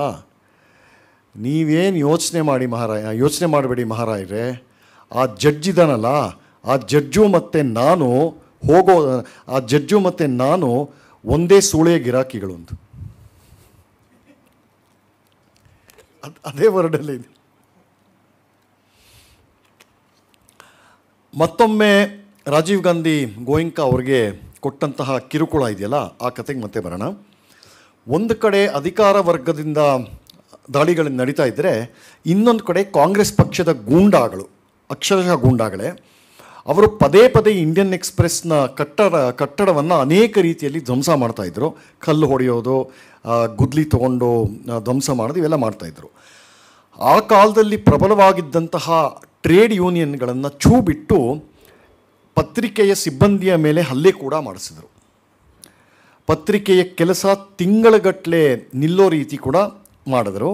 ಈ ಎಲ್ಲವನ್ನು ಎದುರಿಸಿ ರಾಮನಾಥ್ ಗೋಯಂಕ ಮತ್ತೆ ಮತ್ತೆ ಗೆಲ್ತಾನೆ ಬಂದರು. ಮತ್ತು ಅವರ ಈ ಕೆಚ್ಚನ್ನು ನೋಡಿ ಪ್ರಧಾನಿ ರಾಜೀವ್ ಗಾಂಧಿ ಯಾರು ಹಿಂಸೆ ಕೊಡ್ತಾ ಇದ್ರೋ ಆ ಮನುಷ್ಯನೇ ಒಮ್ಮೆ ಸಾರ್ವಜನಿಕವಾಗಿ ಪಾರ್ಲಿಮೆಂಟಲ್ಲಿ ಸ್ಟೇಟ್ಮೆಂಟ್ ಕೊಡ್ತಾರೆ.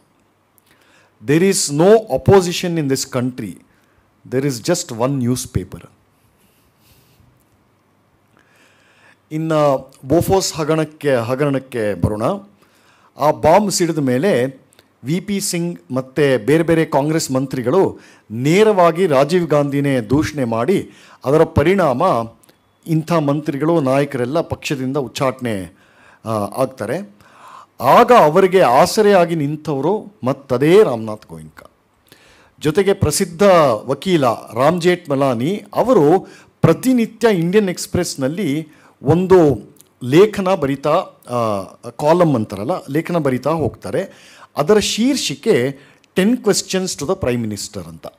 ಈ ಹತ್ತು ಪ್ರಶ್ನೆಗಳು ದಿನಾ ಬರಿತಾ ಇದ್ರು, ಹತ್ತತ್ತು ಪ್ರಶ್ನೆ ದಿನಾ ಕೇಳ್ತಾ ಇದ್ರು ರಾಜೀವ್ ಗಾಂಧಿಗೆ. ಈ ಹತ್ತು ಪ್ರಶ್ನೆಗಳು ಒಟ್ಟು ನಾನ್ನೂರು ಪ್ರಶ್ನೆಗಳಾಗುತ್ತೆ. ಸೊ ಅಂದರೆ ಫಾರ್ಟಿ ಡೇಸ್ ಬರೆದಿರ್ತಾರೆ. ಅದರ ಪರಿಣಾಮ ಪತ್ರಿಕೆಯ ಪ್ರಸಾರ ಸಂಖ್ಯೆ ಇನ್ನಷ್ಟು ಅಪಾರವಾಗಿ ಬೆಳೀತಾ ಹೋಗುತ್ತೆ. ಆ ವಲಯದಲ್ಲಿ ಒಂದು ಮಾತು ಪ್ರಚಲಿತವಾಗಿತ್ತು. ಅಂದರೆ ಇಂಡಿಯನ್ ಎಕ್ಸ್ಪ್ರೆಸ್ ಒಳಗಡೆ. Rajiv Gandhi is our best circulation manager ಅಂತ. ಆದರೆ, ಈ ಪರಿ ವರ್ಷಾನುಗಟ್ಟಲೆ ಮಾಡಿದಂತಹ ನಿರಂತರ ಹೋರಾಟ ಸಾವಿರದ ಒಂಬೈನೂರ ಎಂಬತ್ತೇಳರ ಕೊನೆ ಭಾಗದಲ್ಲಿ ರಾಮನಾಥ್ ಗೋಯಿಂಕಾ ಅವರನ್ನು ಕಂ, ಸಂಪೂರ್ಣವಾಗಿ ಹಣ್ಣು ಮಾಡಿಬಿಡುತ್ತೆ. ಪಕ್ಷವಾತ ಬಡಿಯುತ್ತೆ ಪ್ಯಾರಾಲಿಸಿಸ್ ಹಾಸಿಗೆ ಹಿಡಿತಾರೆ. ಆಗ ಒಂದು ಮಾತು ಹೇಳ್ತಾರೆ. ನನ್ನ ಜೀವನದಲ್ಲಿ ಈ ವರ್ಷವೇ ಅತ್ಯಂತ ಕಠಿಣವಾದದ್ದು. ತುರ್ತು ಪರಿಸ್ಥಿತಿಗಿಂತ ಕಠಿಣವಾದದ್ದು ಈ ವರ್ಷ. ಈ ಸರ್ಕಾರವು ಇಂದಿರಾ ಗಾಂಧಿ ಕೂಡ ಇಳಿಯದಂತಹ ಮಟ್ಟಕ್ಕೆ ಇಳಿದಿದೆ. ನನಗೆ ವಯಸ್ಸಾಗಿದೆ, ಶಕ್ತಿ ಕುಗ್ಗಿದೆ. ಆದರೂ ಹೇಗೋ ನನ್ನ ಸ್ಥಿತಪ್ರಜ್ಞತೆಯನ್ನು ಉಳಿಸಿಕೊಂಡಿದ್ದೀನಿ. ಅದು ನನಗೆ ಗಾಂಧೀಜಿ, ಮದನ್ ಮೋಹನ್ ಮಾಳ್ವಿಯ ಅಂತಹ ಪುಣ್ಯಮೂರ್ತಿಗಳು ನೀಡಿದಂತಹ ಶಿಕ್ಷಣ. ಅವರೆಲ್ಲ ಸಮಾಜಕ್ಕೆ, ದೇಶಕ್ಕೆ ಕೊಟ್ಟರೆ ಹೊರತು ಸಮಾಜದಿಂದ ಏನನ್ನೂ ತೆಗೆದುಕೊಳ್ಳಲಿಲ್ಲ. ಈ ರೀತಿ ಬರೀತಾರೆ. ತುಂಬ ಟಚಿಂಗ್ ಆಗಿದೆ ಅದು ಓದಿದ್ರೆ. ಇದಾದ ಎರಡು ವರ್ಷ ಆದಮೇಲೆ ಸಾವಿರದ ಒಂಬೈನೂರ ಎಂಬತ್ತೊಂಬತ್ತರಲ್ಲಿ ರಾಮನಾಥ್ ಗೋಯಂಕ ಸಂಪೂರ್ಣವಾಗಿ ಹಾಸಿಗೆ ಹಿಡಿತಾರೆ. ಉಸಿರಾಟದ ತೊಂದರೆಯಿಂದ ನರಳೋದಕ್ಕೆ ಶುರು ಮಾಡ್ತಾರೆ. ಹೃದಯದ ಸಮಸ್ಯೆಯಿಂದ ಕೂಡ ಬಳಲ್ತಾ ಇರ್ತಾರೆ. ಆಗಲೇ ಎರಡು ಸಲ ಹಾರ್ಟ್ ಅಟ್ಯಾಕ್ ಆಗಿತ್ತು ಅಂತ ಹೇಳಿದ್ನಲ್ಲ. ಆದರೂ ಅವರ ಬುದ್ಧಿಶಕ್ತಿ ಮಾತ್ರ ಅಷ್ಟೇ ಹರಿತವಾಗಿರುತ್ತೆ. ತಮ್ಮ ಜೀವಿತ ವ್ರತವಾದಂತಹ ಇಂಡಿಯನ್ ಎಕ್ಸ್ಪ್ರೆಸ್ಸಲ್ಲಿ ಸಕ್ರಿಯರಾಗಿಯೇ ಇನ್ನೂ ಇರ್ತಾರೆ. ಮಾತ್ರವಲ್ಲ, ರಾಜೀವ್ ಗಾಂಧಿ ಸರ್ಕಾರವನ್ನು ಪುರುಸೊತ್ತಿಲ್ಲದೆ ಕಾಡ್ತಾ ಬರ್ತಾರೆ. ಅದನ್ನ ಮಾತ್ರ ನಿಲ್ಲಿಸೋದಿಲ್ಲ ಆ ಹೊತ್ತಿಗೆ ಅರುಣ್ ಶೌರಿ ಮತ್ತೆ ಪುನಃ ಇಂಡಿಯನ್ ಎಕ್ಸ್ಪ್ರೆಸ್ ಪತ್ರಿಕೆಗೆ ವಾಪಸ್ ಬಂದಿರ್ತಾರೆ. ಗೋಯಿಂಕಾ ಅವರ ವೀರತ್ವ ಇನ್ನಷ್ಟು ಗಟ್ಟಿಯಾಗುತ್ತೆ ಅನ್ನೋಕ್ಕೆ ಇನ್ನಷ್ಟು ಇನ್ನೂ ಗಟ್ಟಿ ಆಗಿತ್ತು. ಅಂಥ ಸಂದರ್ಭದಲ್ಲಿ ಆ ಪರಿಸ್ಥಿತಿಯಲ್ಲಿ ಅನಾರೋಗ್ಯದಲ್ಲಿ ಕೂಡ ಇನ್ನೂ ಗಟ್ಟಿಮುಟ್ಟಾಗಿತ್ತು ಅನ್ನೋಕ್ಕೆ ಒಂದು ದೊಡ್ಡ ಉದಾಹರಣೆ ಯಾವುದು ಅಂತಂದರೆ, ರಾಮ್ ಜೇಠ್ ಮಲಾನಿಗೆ ಇವರು ಕೊಟ್ಟಂಥ ಸ್ವಾತಂತ್ರ್ಯ ಏಪ್ರಿಲ್ ಸಾವಿರದ ಒಂಬೈನೂರ ಎಂಬತ್ತೊಂಬತ್ತರಲ್ಲಿ ರಾಮ್ ಜೇಠ್ ಮಲಾನಿ ಇಂಡಿಯನ್ ಎಕ್ಸ್ಪ್ರೆಸ್ನಲ್ಲಿ ನೇರವಾಗಿ ಪ್ರಧಾನಿ ರಾಜೀವ್ ಗಾಂಧಿಯನ್ನು ಖಾರವಾಗಿ ಬೈತಾರೆ. ಅದರ ಒಂದು ಒಂದು ಒಂದು ಪಂಕ್ತಿ ಮಾತ್ರ ಓದ್ತೀನಿ. ಮಿಸ್ಟರ್ ರಾಜೀವ್ ಗಾಂಧಿ, ಮಿಸ್ಟರ್ ರಾಜೀವ್ ಗಾಂಧಿ ತಮ್ಮ ಮಾನಸಿಕ ಸಮತೋಲನೆಯನ್ನು ಸಂಪೂರ್ಣವಾಗಿ ಕಳೆದುಕೊಂಡಿದ್ದಾರೆ. ದಿನ ಬೆಳಗಾದರೆ ನನ್ನ ವಿರುದ್ಧ ವೈಯಕ್ತಿಕ ಹಾರಾಟ, ಚೀರಾಟ ಮಾಡುತ್ತಾ ಇದ್ದಾರೆ. ಇದರರ್ಥ, ನಾನು ಪ್ರಧಾನಮಂತ್ರಿಗಳನ್ನು ಕುರ್ಚಿಯಿಂದ ಇಳಿಸುವ ಅಭಿಯಾನದಲ್ಲಿ ಯಶ- ಯಶಸ್ವಿಯಾಗಿದ್ದೇನೆ ಎಂದು. ಈ ಪ್ರಧಾನಿಯು ಟ್ಯಾಮನಿ ಹಾಲ್ ಟ್ಯಾಮನಿ ಹಾಲ್ ಅಂದರೆ ನ್ಯೂಯಾರ್ಕಲ್ಲಿ ನ್ಯೂಯಾರ್ಕ್ನ ನಗರಸಭೆ ಇದೆಯಲ್ಲ, ಅದರ ಅದರ ಅತ್ಯಂತ ಭ್ರಷ್ಟ ರಾಜಕಾರಣಿಗಳ ಅಡ್ಡ ಆಗಿತ್ತು ಒಂದು ಕಾಲದಲ್ಲಿ. ಸೊ ಈ ಪ್ರಧಾನಿಯು ಟ್ಯಾಮನಿ ಹಾಲ್ ಹಾಗೂ ಸಿಸಿಲಿ ಸಿಸಿಲಿಯನ್ ಮಾಫಿಯಾದ ಅಷ್ಟೂ ದುರ್ಗುಣಗಳನ್ನು ಮೈಗೂಡಿಸಿಕೊಂಡಿದ್ದಾರೆ. ಇಲ್ಲಿ ನೋಡಿ ಸಿಸಿಲಿಯನ್ ಮಾಫಿಯಾ ಅನ್ನೋದರ ಹಿಂದ್ಗಡೆ ಇರೋವಂಥ ಒಂದು ಇದು ಹೇಗಿದೆ ಅಂತ? ಇಟಲಿ ರಾಜೀವ್ ಗಾಂಧಿ ಧರ್ಮಪತ್ನಿ.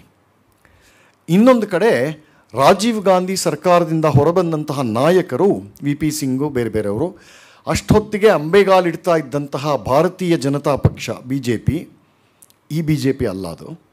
ಭಾರತೀಯ ಜನತಾ ಪಕ್ಷ ಮತ್ತು ಇತರ ಕಾಂಗ್ರೆಸ್ ವಿರೋಧಿ ಪಕ್ಷಗಳನ್ನು ಒಂದುಗೂಡಿಸುವ ಪ್ರಯತ್ನವನ್ನು ಆ ನರಳುತ್ತಿದ್ದ ಸ್ಥಿತಿಯಲ್ಲೇ ರಾಮನಾಥ್ ಗೋಯಂಕ ಅವರು ಕೈಲಾದ ಮಟ್ಟಿಗೆ ಮಾಡ್ತಾ ಹೋಗ್ತಾರೆ.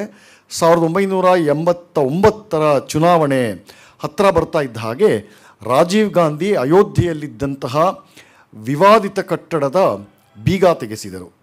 ಅಲ್ಲಿಂದ ಮುಂದೆ ರಾಮಜನ್ಮಭೂಮಿ ಆಂದೋಲನ, ಶಾಬಾನೋ ಪ್ರಕರಣ, ಸ, ಸಟಾನಿಕ್ ವರ್ಸಸ್ ಪುಸ್ತಕನ ಬ್ಯಾನ್ ಮಾಡಿದ್ದು ಇವೆಲ್ಲ ಐತಿಹಾಸಿಕ ಅಭಿಯಾನಗಳಿಗೆ ರಾಮನಾಥ್ ಗೋಯಿಂಕ ಮತ್ತು ಇಂಡಿಯನ್ ಎಕ್ಸ್ಪ್ರೆಸ್ ಪತ್ರಿಕೆ ಭರ್ಜರಿಯಾಗಿ ನೆರವು ಕೊಡುತ್ತೆ. ಅದು ಅವ್ರ ಟೆಂಪರ್ಮೆಂಟ್ಗೂ ಒಗ್ತಾ ಇದ್ದಂತಹ ಕೆಲಸನೇ ಅದು. ಚುನಾವಣಾ ಪ್ರಚಾರದ ಸಮಯದಲ್ಲಿ ಹಿಂದಿನಂತೆ ಎಕ್ಸ್ಪ್ರೆಸ್ ಸಮೂಹದ ಪತ್ರಿಕೆಗಳು ರಾಜೀವ್ ಗಾಂಧಿ ಮತ್ತು ಕಾಂಗ್ರೆಸ್ ಪಕ್ಷದ ವಿರುದ್ಧ ಅಬ್ಬರವಾಗಿ ಪ್ರಚಾರ ಕೊಡೋಕ್ಕೆ ಶುರು ಮಾಡುತ್ತೆ. ಒಟ್ಟದೊಂದಲ್ಲಿ ಹೇಳೋ ಹಾಗಿದ್ದರೆ ರಾಜೀವ್ ಗಾಂಧಿ ಸರ್ಕಾರದ ವ್ಯಾಪಕವಾದ ಭ್ರಷ್ಟಾಚಾರ, ಅನಾಚಾರ, ದುರಾಡಳಿತ ಹಾಗೂ ಇಂಡಿಯನ್ ಎಕ್ಸ್ಪ್ರೆಸ್ನಲ್ಲಿ ಅವನ್ನೆಲ್ಲ ಬಯಲಿಗೆಳೆದಂತಹ ಪರಿಣಾಮ ಕಾಂಗ್ರೆಸ್ ಪಕ್ಷ ಹೀನ ಹೀನಾಯವಾಗಿ ಸೋಲುತ್ತೆ ಅದು ಆ ಎಲೆಕ್ಷನ್ನಲ್ಲಿ. ನಂತರ ಅಧಿಕಾರ ಹಿಡಿದಂತಹ ವಿ ಪಿ ಸಿಂಗ್, ಆ ಅವರ ಸರ್ಕಾರಕ್ಕೆ ಗೋಯಂಕ ಅವರು ಬೆಂಬಲ ಕೊಡ್ತಾರೆ. ಮಾತ್ರ ಅಲ್ಲ, ದೇವಿಲಾಲ್ ಅವರನ್ನು ಉಪ ಪ್ರಧಾನಮಂತ್ರಿಯ ಪಟ್ಟ ಕಟ್ಟೋದರಲ್ಲಿ ಕೂಡ ರಾಮನಾಥ್ ಗೋಯಂಕ ಅವರ ದೊಡ್ಡ ಪಾತ್ರ ಇತ್ತು. ಹಿಂದಿನ ಜನತಾ ಸರ್ಕಾರದ ರೀತಿನೇ ಇದು ಕೂಡ ಛಿದ್ರಗ್ರಹ. ವಿ ಪಿ ಸಿಂಗ್ ಸರ್ಕಾರ ಕೂಡ ಒಳಜಗಳಿಂದ ಜರ್ಜರಿತವಾಗಿ ಒಂದೇ ವರ್ಷದೊಳಗೆ ಬಿದ್ದು ಹೋಗುತ್ತೆ. ಇತ್ತ ಕಡೆ ರಾಮನಾಥ್ ಗೋಯಿಂಕಾ ಅವರ ಆರೋಗ್ಯ ಸಂಪೂರ್ಣವಾಗಿ ಹದಗೆಟ್ಟಿರುತ್ತೆ. ಇನ್ನು ನಾನು ಇದರಿಂದ ಚೇತರಿಸ್ಕೊಳ್ಳೋಕ್ಕೆ ಸಾಧ್ಯ ಆಗೋದಿಲ್ಲ ಅನ್ನೋ ಅರಿವು ಕೂಡ ಅವರಿಗೆ ಆಗತ್ತೆ. ಹಾಗಾಗಿ ತಾವು ಕಷ್ಟಪಟ್ಟು ನಿರ್ಮಾಣ ಮಾಡಿದಂತಹ ಇಂಡಿಯನ್ ಎಕ್ಸ್ಪ್ರೆಸ್ ಅನ್ನುವಂತಹ ಅಷ್ಟು ಬೃಹತ್ ಸಾಮ್ರಾಜ್ಯದ ಭವಿಷ್ಯಕ್ಕೆ ಒಂದು ವ್ಯವಸ್ಥೆ ಮಾಡಬೇಕು ಅಂತ ಸಂಕಲ್ಪ ಮಾಡ್ತಾರೆ. ತಮ್ಮ ಮೊಮ್ಮಗ, ಆತನ ಹೆಸರು ವಿವೇಕ್ ಖೈತಾನ್ ಅಂತ ಕಳೆದ ಸಂಚಿಕೆಯಲ್ಲಿ ಅವ್ರ ಹೆಸರು ಪ್ರಸ್ತಾವನೆ ಮಾಡಿದ್ದೀನಿ ಅನಿಸುತ್ತೆ. ಈ ವಿವೇಕ್ ಕೈತಾನನ್ನು ದತ್ತಕಕ್ಕೆ ತೆಗೆದುಕೊಳ್ತಾರೆ. ಆತನ ಹೆಸರು ಈಗ ವಿವೇಕ್ ಗೋಯಂಕ ಆಗುತ್ತೆ. ಅದೇ ರೀತಿ ಆ ಸಂಸ್ಥೆಯ ಆಡಳಿತ ಮಂಡಳಿಯನ್ನು ಪುನರ್ರಚನೆ ಮಾಡ್ತಾರೆ ರಾಮನಾಥ್ ಗೋಯಂಕ. ಈಗ ಅದರಲ್ಲಿದ್ದದ್ದು ಯಾರ್ಯಾರು ಅಂತಂದರೆ ನಸ್ಲಿವಾಡಿಯ ಬಾಂಬೆ ಡೈಯಿಂಗ್ ಅಂತ ಎಲ್ಲ ಕೇಳಿರ್ಬೋದು ತಾವು. ಆ ಸಂಸ್ಥೆಯ ಮಾಲೀಕರು. ನಸ್ಲಿವಾಡಿಯ ವೇಣು ಶ್ರೀನಿವಾಸನ್, ಇವ್ರು ಯಾರು ಅಂದರೆ ಟಿ ವಿ ಎಸ್ ಗ್ರೂಪ್ ಇದೆಯಲ್ಲ, ಅದಕ್ಕೆ ಹೆಡ್ ಆಗಿದ್ದವರು. ಆಮೇಲೆ ವಿವೇಕ್ ಗೋಯಂಕ. ಇದಾದ ಮೇಲೆ ಜನವರಿ ಇಪ್ಪತ್ತ ಆರು ಸಾವಿರದ ಒಂಬೈನೂರ ತೊಂಬತ್ತೊಂದರಲ್ಲಿ ರಾಮನಾಥ್ ಗೋಯಂಕ ಅವರಿಗೆ ಮತ್ತೊಂದು ಸಲ ತೀವ್ರ ಹೃದಯಾಘಾತ ಆಗುತ್ತೆ. ಇದಾದ ಮೇಲೆ ನಿಧಾನವಾಗಿ ಅವರ ಮನಸ್ಸಿನ ಸ್ಥಿಮಿತ ಕಳ್ಕೊಳ್ತಾರೆ. ಯಾರನ್ನೂ ಗುರುತಿಸದ ಒಂದು ಸ್ಥಿತಿಗೆ ತಲುಪ್ತಾರೆ. ಸದಾಕಾಲ ಅವರನ್ನು ಒಬ್ಬ ನರ್ಸ್ ನೋಡ್ಕೊಳ್ಬೇಕಾಗತ್ತೆ. ಅವರ ಈ ಶೋಚನೀಯ ಸ್ಥಿತಿಯನ್ನು ಕಣ್ಣಾರೆ ಕಂಡಂತಹ ಅನೇಕ ಮಂದಿಗಳ ಪೈಕಿ ಅರುಣ್ ಶೌರಿ ಹೀಗೆ ಬರೀತಾರೆ.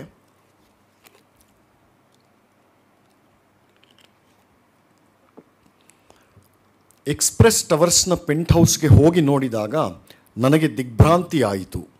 ರಾಮನಾಥ್ ಜಿ ಪೂರ್ತಿ ಜೀರ್ಣವಾಗಿ ಹೋಗಿದ್ದರು. ಹಾಸಿಗೆಯ ಮೇಲೆ ಮಲಗಿಕೊಂಡು ಬಿಟ್ಟ ಕಣ್ಣು ಬಿಟ್ಟುಕೊಂಡು ಖಾಲಿ ಖಾಲಿಯಾಗಿ ಸೂರಿನತ್ತ ನೋಡುತ್ತಿದ್ದರು. ಬಾಯಲ್ಲಿ ಅವರ ನಾಲಿಗೆಯು ನಿರಂತರವಾಗಿ ಆ ಕಡೆ, ಈ ಕಡೆ ಈ ಕಡೆ, ಆ ಕಡೆ, ಅದರ ಪಾಡಿಗೆ ಅದು ಹೊರಳಾಡುತ್ತಿತ್ತು. ನೇರವಾಗಿ ಅವರ ಮುಂದೆ ಹೋಗಿ ನಿಂತುಕೊಂಡೆ. ನನ್ನ ಗುರುತು ಅವರಿಗೆ ಸಿಗಲಿಲ್ಲ. ನಾನೇ ಮಾತಾಡಿದೆ. ರಾಮನಾಥ್ ಜಿ ನಾನು ಅರುಣ್, ದೆಹಲಿಯಿಂದ ಬಂದಿದ್ದೀನಿ ತಮ್ಮನ್ನು ನೋಡೋದಿಕ್ಕೆ, ಎಂದೆ. ಯಾವ ಪ್ರಯೋಜನವೂ ಆಗಲಿಲ್ಲ. ಆ ಶೂನ್ಯ ದೃಷ್ಟಿಯು ಹಾಗೆಯೇ ಇತ್ತು. ಅವರನ್ನು ಕೊನೆಯ ಬಾರಿಗೆ, ಅವರನ್ನು ಕೊನೆಯ ಬಾರಿ ಭೇಟಿ ಮಾಡಿದ್ದು ಮುಂಬೈನ ಬ್ರೀಚ್ ಕ್ಯಾಂಡಿ ಆಸ್ಪತ್ರೆಯಲ್ಲಿ. ಅವರನ್ನು ಅಲ್ಲಿ, ಆ ಸ್ಥಿತಿಯಲ್ಲಿ ನೋಡಿದ ದುಃಖದ ಅನುಭವವನ್ನು ಬರೀ ಮಾತಿನಲ್ಲಿ ವಿವರಿಸುವುದು ನನಗೆ ಅಸಾಧ್ಯ. ಆಸ್ಪತ್ರೆಯ ಆ ಸಣ್ಣ ಕೋಣೆಯಲ್ಲಿ ಹಾಸಿಗೆಯ ಮೇಲೆ ಮುದುಡಿ ಮಲಗಿದ್ದರು. ಅಲ್ಲಿದ್ದ ಶ್ರೀಮತಿ ಶ್ರೀನಿವಾಸನ್ ಹೇಳಿದರು ರಾಮನಾಥ್ ಜಿ ರಾಮನಾಥ್ ಜಿ ನಿಮ್ಮನ್ನು ನೋಡಲು ಯಾರು ಬಂದಿದ್ದಾರೋ ನೋಡಿ, ಅರುಣ್ ಶೌರಿ. ಈಗ ರಾಮನಾಥ್ ಜಿ ಅವರ ದೃಷ್ಟಿ ನಿಧಾನವಾಗಿ ನನ್ನ ಕಡೆ ತಿರುಗಿತು.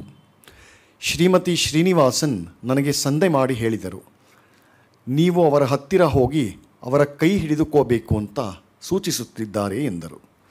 ನಾನು ಅವರ ಕೈಯನ್ನು ನನ್ನ ಕೈಯಲ್ಲಿ ಹಿಡಿದುಕೊಂಡೆ. ಅವರ ಕಣ್ಣಿನಿಂದ ಒಂದೇ ಒಂದು ಹನಿ ಉರುಳಿತು. ಒಂದು ಮಹಾವ್ಯಾಘ್ರವು ಮುದು, ಮುದುಡಿ ಹೋದಿ ಮುದುಡಿ ಹೋಗಿ ಸಣ್ಣ ಗುಬ್ಬಚ್ಚಿಯಾಗಿಬಿಟ್ಟಿತ್ತು ಅದೇ ನಾನು ಅವರನ್ನು ಕೊನೆಯ ಸಲ ನೋಡಿದ್ದು. ಹೀಗೆ ಬರೀತಾರೆ. ಇದರ ಪರಿಣಾಮ ಸಹಜವಾಗಿ ಇಂಡಿಯನ್ ಎಕ್ಸ್ಪ್ರೆಸ್ ಮೇಲೆ ಕೂಡ ಬೀಳುತ್ತೆ. ಅದರ ಪ್ರಸಾರ ಸಂಖ್ಯೆ ಗಣನೀಯವಾಗಿ ಇಳಿದು ಹೋಗುತ್ತೆ. ಮಾತ್ರವಲ್ಲ, ರಾಮನಾಥ್ ಗೋಯಿಂಕಾ ಅವರ ಪರಿವಾರದಲ್ಲಿ ಒಂದು ಕ್ಷುದ್ರ ಮಟ್ಟದ ಸಂಚು ನಡೆಯುತ್ತೆ. ಇದರ ಪರಿವೆಯೇ ಇಲ್ಲದಂತಹ ರಾಮನಾಥ ಗೋಯಿಂಕ ಆಸ್ಪತ್ರೆಯಲ್ಲಿ ನಿಶ್ಚೇಷ್ಟರಾಗಿ ಮಲಗಿರ್ತಾರೆ. ಪೂರ್ತಿ ಬಾಡಿ ಹೋದ ಹೂವಿಗೆ ಆಗಾಗ ನೀರು ಚುಮುಕಿಸಿ ಹೇಗೋ ಅದನ್ನು ಉಳಿಸಿಕೊಳ್ಳೋ ಸ್ಥಿತಿ ಅವರದಾಗಿರುತ್ತೆ. ಈ ದುರಂತ ಕತೆ ಅಂತ್ಯಗೊಂಡದ್ದು ಅಕ್ಟೋಬರ್ ಐದು ಸಾವಿರದ ಒಂಬೈನೂರ ತೊಂಬತ್ತೊಂದರಂದು. ಒಂಬತ್ತು ವರ್ಷಗಳ ಕಾಲ ನಿರಂತರವಾಗಿ ತಾಯಿಯನ್ನು, ತಾಯಿಯಂತೆ ಆರೈಕೆ ಮಾಡಿದಂತಹ ಅವರ ನರ್ಸ್, ಆಕೆ ಹೆಸರು ಶ್ರೀಮತಿ ಗೀತಾ ಮೋರೆ ಅಂತ. ಅವರ ಒಡಲಿನಲ್ಲಿ ರಾಮನಾಥ್ ಗೋಯಂಕ ಅವರ ಕೊನೆ ಉಸಿರು ಬಿಡ್ತಾರೆ. ಅದಾದ ಮೇಲೆ ಅವರ ಪಾರ್ಥಿವ ಶರೀರವನ್ನು ಮದ್ರಾಸ್ಗೆ ಸಾಗಿಸ್ತಾರೆ. ಇದು ಅತ್ಯಂತ ಉಚಿತವಾಗಿ ಕೂಡ ಇರುತ್ತೆ. ಯಾಕೆ ಅಂತಂದರೆ ಕೇವಲ ಒಂದು ಲೋಟ, ಒಂದು ಧೋತಿ ತೆಗೆದುಕೊಂಡು ಮದ್ರಾಸ್ಗೆ ಬಂದಂತಹ ರಾಮನಾಥ್ ಗೋಯಿಂಕ ಕೊನೆಯ ತನಕ ತಮ್ಮನ್ನು ತಾವು ನಾನೊಬ್ಬ ತಮಿಳ್ ಮಾರ್ವಾಡಿ ಅಂತಲೇ ಕರೆದುಕೊಂಡು ಅದರಲ್ಲಿ ಅವ್ರು ಹೆಮ್ಮೆ ಪಡ್ತಾಯಿದ್ರು ವಿವೇಕ್ ಗೋಯಿಂಕ ಅವರ ಅಂತ್ಯಕ್ರಿಯೆಯನ್ನು ಚೂಳೈ ಪಟ್ಟಾಲಂ ಅನ್ನೋ ಜಾಗದಲ್ಲಿ ಅಲ್ಲಿ ಮಾರ್ವಾಡಿ ಗುಜರಾತಿ ಸ್ಮಶಾನ ಇದೆ. ಅಲ್ಲಿ ನೆರವೇರಿಸ್ತಾರೆ. ನೂರಾರು ಸಂಖ್ಯೆಯಲ್ಲಿ ಜನರು ಅವರಿಗೆ ಅಂಜಲಿ ಅರ್ಪಿಸ್ತಾರೆ. ಅದಾದ ಹದಿಮೂರನೇ ದಿನ ಅವರ ಅಸ್ಥಿಗಳನ್ನು ಇನ್ನೊಬ್ಬ ಮೊಮ್ಮಗ ಮನೋಜ್ ಸೋಂತಾಲಿಯಾ, ಇವರು ಅಸ್ಥಿಗಳನ್ನು ಹರಿದ್ವಾರಕ್ಕೆ ತೆಗೆದುಕೊಂಡು ಹೋಗಿ ಅಲ್ಲಿ ಗಂಗಾ ನದಿಯಲ್ಲಿ ವಿಸರ್ಜನೆ ಮಾಡ್ತಾರೆ. ಇಲ್ಲಿಗೆ ಈ ಭಾಷಣ ಮಾಲಿಕೆಯ ಕೊನೆಯ ದಿನದ ಕೊನೆಯ ಘಟ್ಟಕ್ಕೆ ನಾವು ಬರಬಹುದು. ದೂರದ ಬಿಹಾರದ ದರ್ಬಾಂಗ ಹತ್ತಿರದ ಒಂದು ಕುಗ್ರಾಮದಲ್ಲಿ ಹುಟ್ಟಿ ಇನ್ನೊಬ್ಬರ ಮನೆಗೆ ದತ್ತಕಕ್ಕೆ ಹೋಗಿ ಅವರ ಸ್ವಂತ ಪರಿಶ್ರಮ, ಪ್ರಚಂಡ ಬುದ್ಧಿಚಾತುರ್ಯದಿಂದ ಭಾರತ ದೇಶ ಕಂಡಂತಹ ಅತ್ಯಂತ ಬೃಹತ್ ವ್ಯಾಪಾರ ಸಾಮ್ರಾಜ್ಯಗಳಲ್ಲಿ ಒಂದನ್ನು ನಿರ್ಮಾಣ ಮಾಡಿ ರಾಮನಾಥ್ ಗೋಯಿಂಕ ಮೊದಲಿಂದ ಕೊನೆಯ ತನಕ ಪತ್ರಿಕಾಕರ್ತರಾಗಿ ಉಳಿದರು. ಅವರ ಪಾಲಿಗೆ ಇಂಡಿಯನ್ ಎಕ್ಸ್ಪ್ರೆಸ್ ಕೇವಲ ಪತ್ರಿಕೆ ಆಗಿರಲಿಲ್ಲ, ಅದೊಂದು ಪವಿತ್ರ ವ್ರತವಾಗಿತ್ತು, ರಾಷ್ಟ್ರ ಸೇವೆಯ ಸಾಧನವಾಗಿತ್ತು. ಅದನ್ನವರು ಕೊನೆ ತನಕ ಅದೇ ಅಷ್ಟೇ ಶ್ರದ್ಧೆಯಿಂದ ನಡೆಸ್ಕೊಂಡು ಬಂದರು. ಇದನ್ನು ಇಡೀ ದೇಶ ಗುರುತಿಸ್ತು. ಈ ಗುಣನ ಇಡೀ ದೇಶ ಗುರುತಿಸ್ತು. ಈ ಕಾರಣಕ್ಕೆ ರಾಮನಾಥ್ ಗೋಯಿಂಕ ಅವರು ದೈವಾಧೀನರಾದ ಬಳಿಕ ದೇಶದ ಬೇರೆ ಬೇರೆ ಕ್ಷೇತ್ರದ ಎಲ್ಲ ಪ್ರಮುಖರು ಕೂಡ, ಅವರ ಬದ್ಧ ಶತ್ರುಗಳು ಕೂಡ ಅವರನ್ನು ಕುರಿತು ಇವರು ಒಬ್ಬ ಆದರ್ಶ ಹಾಗೂ ನಿರ್ಭೀತ ಪತ್ರಿಕಾ ಕ್ಷೇತ್ರದ ದಿಗ್ಗಜ ಅಂತ ಮುಕ್ತಕಂಠದಿಂದ ಕೊಂಡಾಡಿದ್ರು. ಗುರುಮೂರ್ತಿ ಅವರು ಮಾತ್ರ ರಾಮನಾಥ್ ಗೋಯಂಕ ಬಗ್ಗೆ ಒಂದು ಕಡೆ ಚೆನ್ನಾಗಿ ಹೇಳಿದ್ದಾರೆ. He was a rich man with a poor man's austerity ಅಂತ ಆಳವಾದ ಧರ್ಮಪ್ರಜ್ಞತೆ ಧರ್ಮಪ್ರಜ್ಞೆ, ಪರಂಪರೆಯಲ್ಲಿ ಶ್ರದ್ಧೆ ಕರ್ಮ ಸಿದ್ಧಾಂತದಲ್ಲಿ ಅಪಾರವಾದಂತಹ ನಂಬಿಕೆ, ಅಪ್ರತಿಮ ದೇಶಭಕ್ತಿ, ಸಮಾಜ ಹಿತರಕ್ಷಣೆ, ಇವು ರಾಮನಾಥ ಗೋಯಂಕ ಜೀವನದ ಮೂಲ ಮಂತ್ರಗಳು. ಅವರ ಸಮೃದ್ಧ ಮತ್ತು ವೈವಿಧ್ಯ, ಭರಿತ ಮತ್ತು ಸ್ಫೂರ್ತಿದಾಯಕವಾದಂತಹ ಬದುಕನ್ನು ನಾವು ನೋಡಿದಾಗ ಕೇವಲ ಒಬ್ಬ ಮನುಷ್ಯ ಒಂದು ಜೀವನದಲ್ಲಿ ಇಷ್ಟೆಲ್ಲ ಮಾಡೋದಕ್ಕೆ ಸಾಧ್ಯನಾ ಅಂತ ನಿಜಕ್ಕೂ ನಮಗೆ ಬೆರಗಾಗುತ್ತೆ. ಒಂದು ಕಡೆ ಅವರ ಜೀವಿತ ವ್ರತವಾದಂತಹ ಪತ್ರಿಕಾರಂಗ, ಮತ್ತೊಂದು ಕಡೆ ದಣಿವರಿಯದಂತಹ ವ್ಯಾಪಾರದ ವಿಸ್ತಾರ, ಇನ್ನೊಂದು ಕಡೆ ಸ್ವಾತಂತ್ರ್ಯೋದ್ಯಮಕ್ಕೆ ಮಾಡಿದಂತಹ ಸೇವೆ, ಮಗದೊಂದು ಕಡೆ ಸಕ್ರಿಯ ರಾಜಕಾರಣದ ನಿರಂತರ ಚಟುವಟಿಕೆ, ಈ ದೇಶ ಕಂಡಂತಹ ಅತ್ಯಂತ ಯಶಸ್ವಿ ಪತ್ರಿಕೆ ಇಂಡಿಯನ್ ಎಕ್ಸ್ಪ್ರೆಸ್. ಅದನ್ನು ಬುಡದಿಂದ ಎಬ್ಬಿಸಿ ಹಿಮಾಲಯದ ಎತ್ತರಕ್ಕೆ ಬೆಳೆಸಿದ್ರು ರಾಮನಾಥ್, ಮತ್ತು ಮತ್ತು ಸಮುದ್ರದಷ್ಟು ವಿಸ್ತಾರವಾಗಿ ಬೆಳೆಸಿದ್ರು ರಾಮನಾಥ್ ಗೋಯಿಂಕ ಈ ದೇಶದ ಮೂರು ಮಂದಿ ಪ್ರಧಾನಮಂತ್ರಿಗಳನ್ನು ಎದುರು ಹಾಕಿಕೊಂಡು ಗೆದ್ದಿದ್ದರು. ನಾಲ್ಕು ಕೇಂದ್ರ ಸರ್ಕಾರಗಳ ಪತನಕ್ಕೆ ಪ್ರತ್ಯಕ್ಷವಾಗಿ, ಪರೋಕ್ಷವಾಗಿ ಕಾರಣರಾದರು ಗೋಯಿಂಕ. ಅನೇಕ ಅರ್ಥಗಳಲ್ಲಿ ರಾಮನಾಥ್ ಗೋಯಿಂಕ ಅವರ ಜೀವಿತ ಚರಿತ್ರೆಯು ಸ್ವತಂತ್ರ ಭಾರತದ ರಾಜಕೀಯ ಸಾಮಾಜಿಕ ಚರಿತ್ರ ಕೂಡ ಅಂತ ಧಾರಾಳವಾಗಿ ಹೇಳಬಹುದು. ಅವರು ಈ ಚರಿತ್ರೆಯ ಭಾಗಿದಾರರೂ ಹೌದು, ನಿರ್ಮಾತೃಗಳೂ ಹೌದು. ಸಾರ್ವಜನಿಕ ಜೀವನದ ಅನೇಕ ಕೊಳಕುಗಳನ್ನು ಬಯಲಿಗೆಳೆದು ಅವರ ಕೈಲಾದ ಮಟ್ಟಿಗೆ ಡ್ರೈನೇಜ್ ಕ್ಲೀನಿಂಗ್ ಸ್ವಚ್ಛ ಮಾಡ್ತಾ ಬಂದರು. ಸಮಸ್ಯೆಗಳನ್ನು, ಆಪತ್ತನ್ನು ತಾವೇ ಖುದ್ದು ಹುಡುಕೊಂಡು ಹೋಗಿ ಮೈಮೇಲೆ ಎಳೆದುಕೊಂಡು ಅದನ್ನು ಗೆಲ್ಲೋದರಲ್ಲಿ ಒಂದು ವಿಶೇಷವಾದ ಆನಂದವನ್ನು ಅನುಭವಿಸ್ತಾ ಇದ್ದರು ತಮ್ಮದೇ ಪತ್ರಿಕೆಯಲ್ಲಿ ತಮ್ಮ ಬಗ್ಗೆ, ತಮ್ಮ ಪರಿವಾರದ ಬಗ್ಗೆ ಹೊಗಳಿಕೆಯ ಒಂದೇ ಒಂದು ಲೇಖನವನ್ನು ಕೂಡ ನಿಷೇಧ ಮಾಡಿದರು.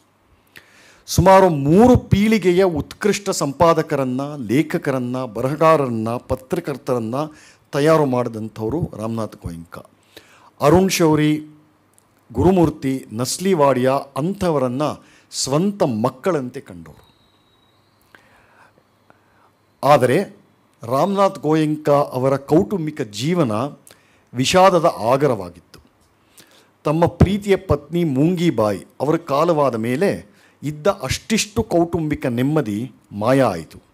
ಈ ಕಥೆನ ಹಿಂದಿನ ಸಂಚಿಕೆಯಲ್ಲಿ ಹೇಳಿದ್ದೀನಿ. ಹೀಗಾಗಿ ಕೊನೆಯ ತನಕ ರಾಮನಾಥ್ ಗೋಯಂಕ ಸಂಪೂರ್ಣ ಏಕಾಂಗಿಯಾಗಿ ಉಳ್ಕೊಂಡ್ಬಿಟ್ರು. ಹೆಚ್ಚು ಕಡಿಮೆ ಸನ್ಯಾಸಿಯಂತೆ ಬದುಕಿದರು. ಆದರೆ ಸನ್ಯಾಸಿಗಿರಬೇಕಾದಂತಹ ಬ್ರಹ್ಮಚರ್ಯ ದೀಕ್ಷೆಯನ್ನು ಮಾತ್ರ ಒಂದಿನಾನು ಪಾಲಿಸಲಿಲ್ಲ. ಆಳವಾದ ಧಾರ್ಮಿಕ ಶ್ರದ್ಧೆ ಇದ್ದ ಅವರು ಸಿಗರೇಟು, ಮದ್ಯ ಇದ್ಯಾವುದನ್ನು ಮುಟ್ಟಲಿಲ್ಲ ಅಪ್ಪಟ ಸಸ್ಯಾಹಾರಿಗಳಾಗಿದ್ದರು. ಅವ್ರಿಗೆ ಆಡ್ತಾ ಇದ್ದಿದ್ದಂತಹ ಆಟ ಯಾವುದು ಅಂತಂದರೆ ಬ್ರಿಡ್ಜ್. ಅದು ಬಿಟ್ಟು ಬೇರೆ ಯಾವ ಕ್ರೀಡೆನೂ ಅವ್ರು ಆಡಲಿಲ್ಲ. ಕ್ಲಬ್ಗೆ ಹೋಗ್ತಾ ಇರಲಿಲ್ಲ.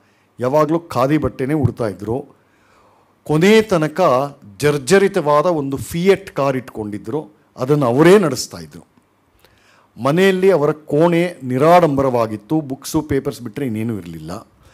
ಪ್ರತಿದಿನ ಐದು ಮೈಲಿ ಸತತವಾಗಿ ವಾಕಿಂಗ್ ಮಾಡ್ತಾಯಿದ್ರು ಮನೆಯಲ್ಲಿ ಕಚೇರಿಯಲ್ಲಿ ವಿದ್ಯುತ್ ಶಕ್ತಿಯನ್ನು ಪೋಲ್ ಮಾಡ್ತಾ ಇರಲಿಲ್ಲ. ಅವರೇ ಯಾವ್ದಾರ ಯಾರು ಇಲ್ಲದೆ ಇರೋ ಖಾಲಿ ರೂಮಲ್ಲಿ ಲೈಟ್ ಉರಿತಾ ಇದ್ದಾರೆ ಅವರೇ ಹೋಗಿ ದೀಪ ಇದ್ದರು ಅಷ್ಟು ದೊಡ್ಡ ವ್ಯಾಪಾರ ಸಾಮ್ರಾಜ್ಯದ ಮಾಲೀಕರಾಗಿದ್ದರೂ ವಿಮಾನದಲ್ಲಿ ಎಕಾನ್ ಎಕಾನಮಿ ಕ್ಲಾಸಲ್ಲೇ ಪ್ರಯಾಣ ಮಾಡ್ತಾಯಿದ್ರು ಒಂದು ದಿವಸ ಕೂಡ ಪಂಚತಾರ ಹೋಟೆಲ್ನಲ್ಲಿ ಅವರು ತಂಗುತ್ತಾ ಇರಲಿಲ್ಲ. ಬೆಳಗ್ಗೆ ಬೇಗ ಎದ್ದು ಆ ದಿನದ ಎಲ್ಲ ದಿನಪತ್ರಿಕೆಗಳನ್ನು ಸೂಕ್ಷ್ಮವಾಗಿ ಓದ್ತಾ ಇದ್ದರು ಅದಾದ ನಂತರ ಫೋನ್ ಇತ್ಕೊಂಡು ತಮ್ಮ ಎಲ್ಲ ಸಂಪಾದಕರಿಗೆ ಒಂದು ರೌಂಡು ಸುದ್ದಿಯನ್ನು ಚರ್ಚೆ ಮಾಡಿ, ಆ ದಿನದ ಪತ್ರಿಕೆಯ ದಿನಚರಿಯನ್ನು ಎಡಿಟೋರಿಯಲ್ ಕ್ಯಾಲೆಂಡರ್ ಅಂತಾರೆ, ಅದನ್ನು ನಿಷ್ಕರ್ಷೆ ಮಾಡಿ ಅವ್ರ ಜೊತೆ ನಿಷ್ಕರ್ಷೆ ಮಾಡ್ತಾಯಿದ್ರು ಅವರ ಪ್ರಕಾರ ವರ್ಕ್ ಈಸ್ ಎಂಟರ್ಟೈನ್ಮೆಂಟ್ ಅಂತ. ಇದು ಅವ್ರದೇ ಮಾತು. ಇಂಥ ಜೀವನವನ್ನು ಬಾಳಿದಂತಹ ರಾಮನಾಥ್ ಗೋಯಂಕ ಅವರ ಕಣ್ಮಣಿ ಇಂಡಿಯನ್ ಎಕ್ಸ್ಪ್ರೆಸ್ ಪತ್ರಿಕಾ ಸಮೂಹ, ಅವರ ಮರಣಾನಂತರ ಹರಿದು ಹಂಚಿ ಹೋಯಿತು. ಆ ಪತ್ರಿಕೆಯು ಗಳಿಸಿಕೊಂಡಂತಹ ಅಪಾರವಾದ ಗೌರವ ಜನಮನ್ನಣೆ, ಮನ್ನಣೆ, ಅದು ತಂದು ಕೊಡುತ್ತಿದ್ದಂತಹ ಪ್ರಭಾವದ ಮೇಲೆ ಕುಟುಂಬದವರಲ್ಲಿ ಒಂದು ನೀಚ ಮಟ್ಟದ ಕಲಹವಾಯಿತು. ಅವ್ರಿಗೆ ಅದರ ಇನ್ಫ್ಲೂಯೆನ್ಸ್ ಬೇಕಿತ್ತು. ಅದರ ಹಣ ಬೇಕಿತ್ತು. ಸೊ ಕುಟುಂಬದಲ್ಲಿ ಕಲಹ ಎದ್ದೇಳ್ತು. ಅವರ ಸೊಸೆ, ಮೊಮ್ಮಕ್ಕಳು ಇವರಿವರಲ್ಲೇ ಗುಂಪುಗಾರಿಕೆ ಎದ್ದು ಆ ಕುಟುಂಬ ಕಲಹ ಸಾರ್ವಜನಿಕ ಆಯಿತು. ಆಸ್ತಿ ಪತ್ರಗಳಿಗೆ, ಶೇರ್ ಸರ್ಟಿಫಿಕೇಟ್ಗಳಿಗೆ, ಇತರ ಮಹತ್ತರವಾದ ಲೀಗಲ್ ದಾಖಲೆಗಳಿಗೆ ಫೋರ್ಜರಿ ಮಾಡೋ ಮಟ್ಟಕ್ಕೆ ಹೋಯಿತು ಈ ರಾದ್ದಾಂತ ಅವ್ರ ಕುಟುಂಬದವರೇ ಮಾಡಿಕೊಂಡ್ರು ಇದನ್ನು. ಇವೆಲ್ಲ ಸೇರಿ ರಾಮ್, ಇವರೆಲ್ಲ ಸೇರಿ ಒಂದರ್ಥದಲ್ಲಿ ರಾಮನಾಥ್ ಗೋಯಿಂಕಾ ಅವರ ಹೆಣವನ್ನು ಕಿತ್ತು ತಿನ್ನೋದಕ್ಕೆ ಇದನ್ನು ಹೋಲಿಸ್ಬೋದು ಸುಮಾರು ಐದು ವರ್ಷ ನಡೆದಂತಹ ಈ ನೀಚ ಮಟ್ಟದ ಕಿತ್ತಾಟ ಅದು ಅಂತ್ಯಗೊಂಡದ್ದು ಇಂಡಿಯನ್ ಎಕ್ಸ್ಪ್ರೆಸ್ ಪತ್ರಿಕಾ ಸಮೂಹವನ್ನು ಒಡೆಯುವುದರಲ್ಲಿ ಅದು ಅಂತ್ಯಗೊಳ್ಳುತ್ತೆ. ಒಬ್ಬ ಮೊಮ್ಮಗ ಮನೋಜ್ ಸೊಂಥಾಲಿಯಾ ಅವರ ಕೈಗೆ ಇಂಡಿಯನ್ ಎಕ್ಸ್ಪ್ರೆಸ್ ಸಮೂಹದ ದಕ್ಷಿಣ ಭಾರತದ ಪತ್ರಿಕೆಗಳು ಅವರ ಕೈಗೆ ಬರುತ್ತೆ. ಅದನ್ನು ದ ನ್ಯೂ ಇಂಡಿಯನ್ ಎಕ್ಸ್ಪ್ರೆಸ್ನಂತ ಪುನರ್ನಾಮಕರಣ ಮಾಡ್ತಾರೆ. ಉತ್ತರ ಭಾರತದ ಮೂಲ ಹೆಸರು ಉತ್ತರ ಭಾರತದ ಇಂಡಿಯನ್ ಎಕ್ಸ್ಪ್ರೆಸ್ ಪತ್ರಿಕೆಗಳಿಗೆ ಅದರ ಮೂಲ ಹೆಸರು ಇಂಡಿಯನ್ ಎಕ್ಸ್ಪ್ರೆಸ್ ಇದೆಯಲ್ಲ, ಅದು ಉಳಿಯುತ್ತೆ. ಹೆಸರು ಮಾತ್ರ ಉಳಿತು. ರಾಮನಾಥ್ ಗೋಯಿಂಕ ಅವರ ಆದರ್ಶ, ಕರ್ಮನಿಷ್ಠೆ, ದೇಶಪ್ರೇಮ, ಧಾರ್ಮಿಕ ಪ್ರಜ್ಞೆ, ಈ ಹೀನ ಆಸ್ತಿ ವ್ಯಾಜ್ಯಕ್ಕೆ ಬಲಿಯಾಗತ್ತೆ. ಈ ದುರಂತ ಇಲ್ಲಿಗೆ ನಿಲ್ಲೋದಿಲ್ಲ.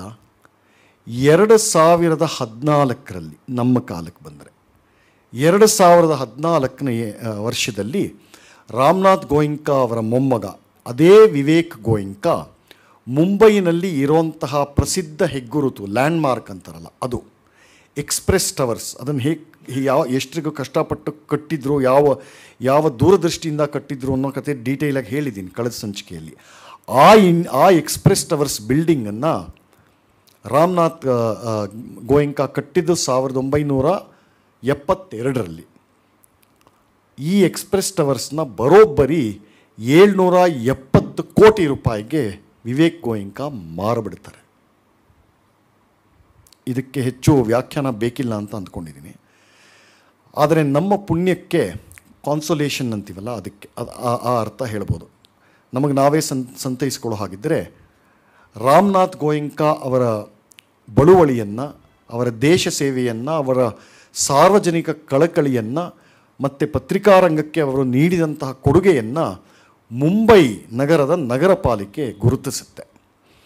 ಗೋಯಂಕಾ ಅವರು ತೀರ್ಕೊಂಡ ಸ್ವಲ್ಪ ಕಾಲದ ಬಳಿಕ ಅವರ ಪುಣ್ಯ ಸ್ಮರಣೆಯಲ್ಲಿ ಎಕ್ಸ್ಪ್ರೆಸ್ ಟವರ್ಸ್ ಅಂತ ಹೇಳಿದ್ನಲ್ಲ, ಆ ಕಟ್ಟಡ ನಿಂತಿರುವಂತಹ ರಸ್ತೆಗೆ ಅವರ ಹೆಸರು ಇಟ್ ಇಟ್ ಇಡ್ತು.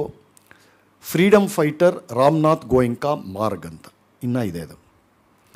ಅವರ ನೆನಪಿನಲ್ಲಿ ಆ ರಸ್ತೆಯಲ್ಲಿ ಒಂದು ಕಡೆ ಎಪಿಟ್ಯಾಫ್ ಅಂದರೆ ಗೋರಿ ಬರಹ ಅಂತೀವಲ್ಲ, ಅದು ಇದೆ. ಅದರ ಅನುವಾದ ಈ ರೀತಿ ಇದೆ. ಓ ದಾರಿ ಹೋಕನೆ, ಮೆಲ್ಲನೆ ಹೆಜ್ಜೆ ಹಾಕು. ಇಲ್ಲೊಬ್ಬ ವೃದ್ಧ ವೀರ ಯೋಧನು ಎರಡು ಯುದ್ಧಗಳ ನಡುವೆ ಕೊಂಚ ಮಲಗಿ ವಿಶ್ರಾಂತಿ ಪಡೆಯುತ್ತಿದ್ದಾನೆ. ನಿನ್ನ ಹೆಜ್ಜೆಯ ಸಪ್ಪಳ ಆತನ ನಿದ್ರೆಯನ್ನು ಭಂಗ ಮಾಡಿದಂತೆ ಎಚ್ಚರ ವಹಿಸಿಕೊ. ಪತ್ರಿಕಾರಂಗದ ವಿಸ್ಮೃತ ವೀರ ಶ್ರೀ ರಾಮನಾಥ್ ಗೋಯಿಂಕ ಅವರ ಇಡೀ ಬದುಕಿಗೆ ಇದು ಅತ್ಯಂತ ಅರ್ಥಪೂರ್ಣವಾದ ಚರಮಗೀತೆ ಅಂತ ಸ್ಪಷ್ಟವಾಗಿ ಧಾರಾಳವಾಗಿ ಹೇಳ್ಬೋದು. ಇಷ್ಟು ಹೇಳಿ ಈ ಭಾಷಣ ಮಾಲಿಕೆಯನ್ನು ಇಲ್ಲಿಗೆ ಸಮಾಪ್ತಗೊಳಿಸಬಹುದು.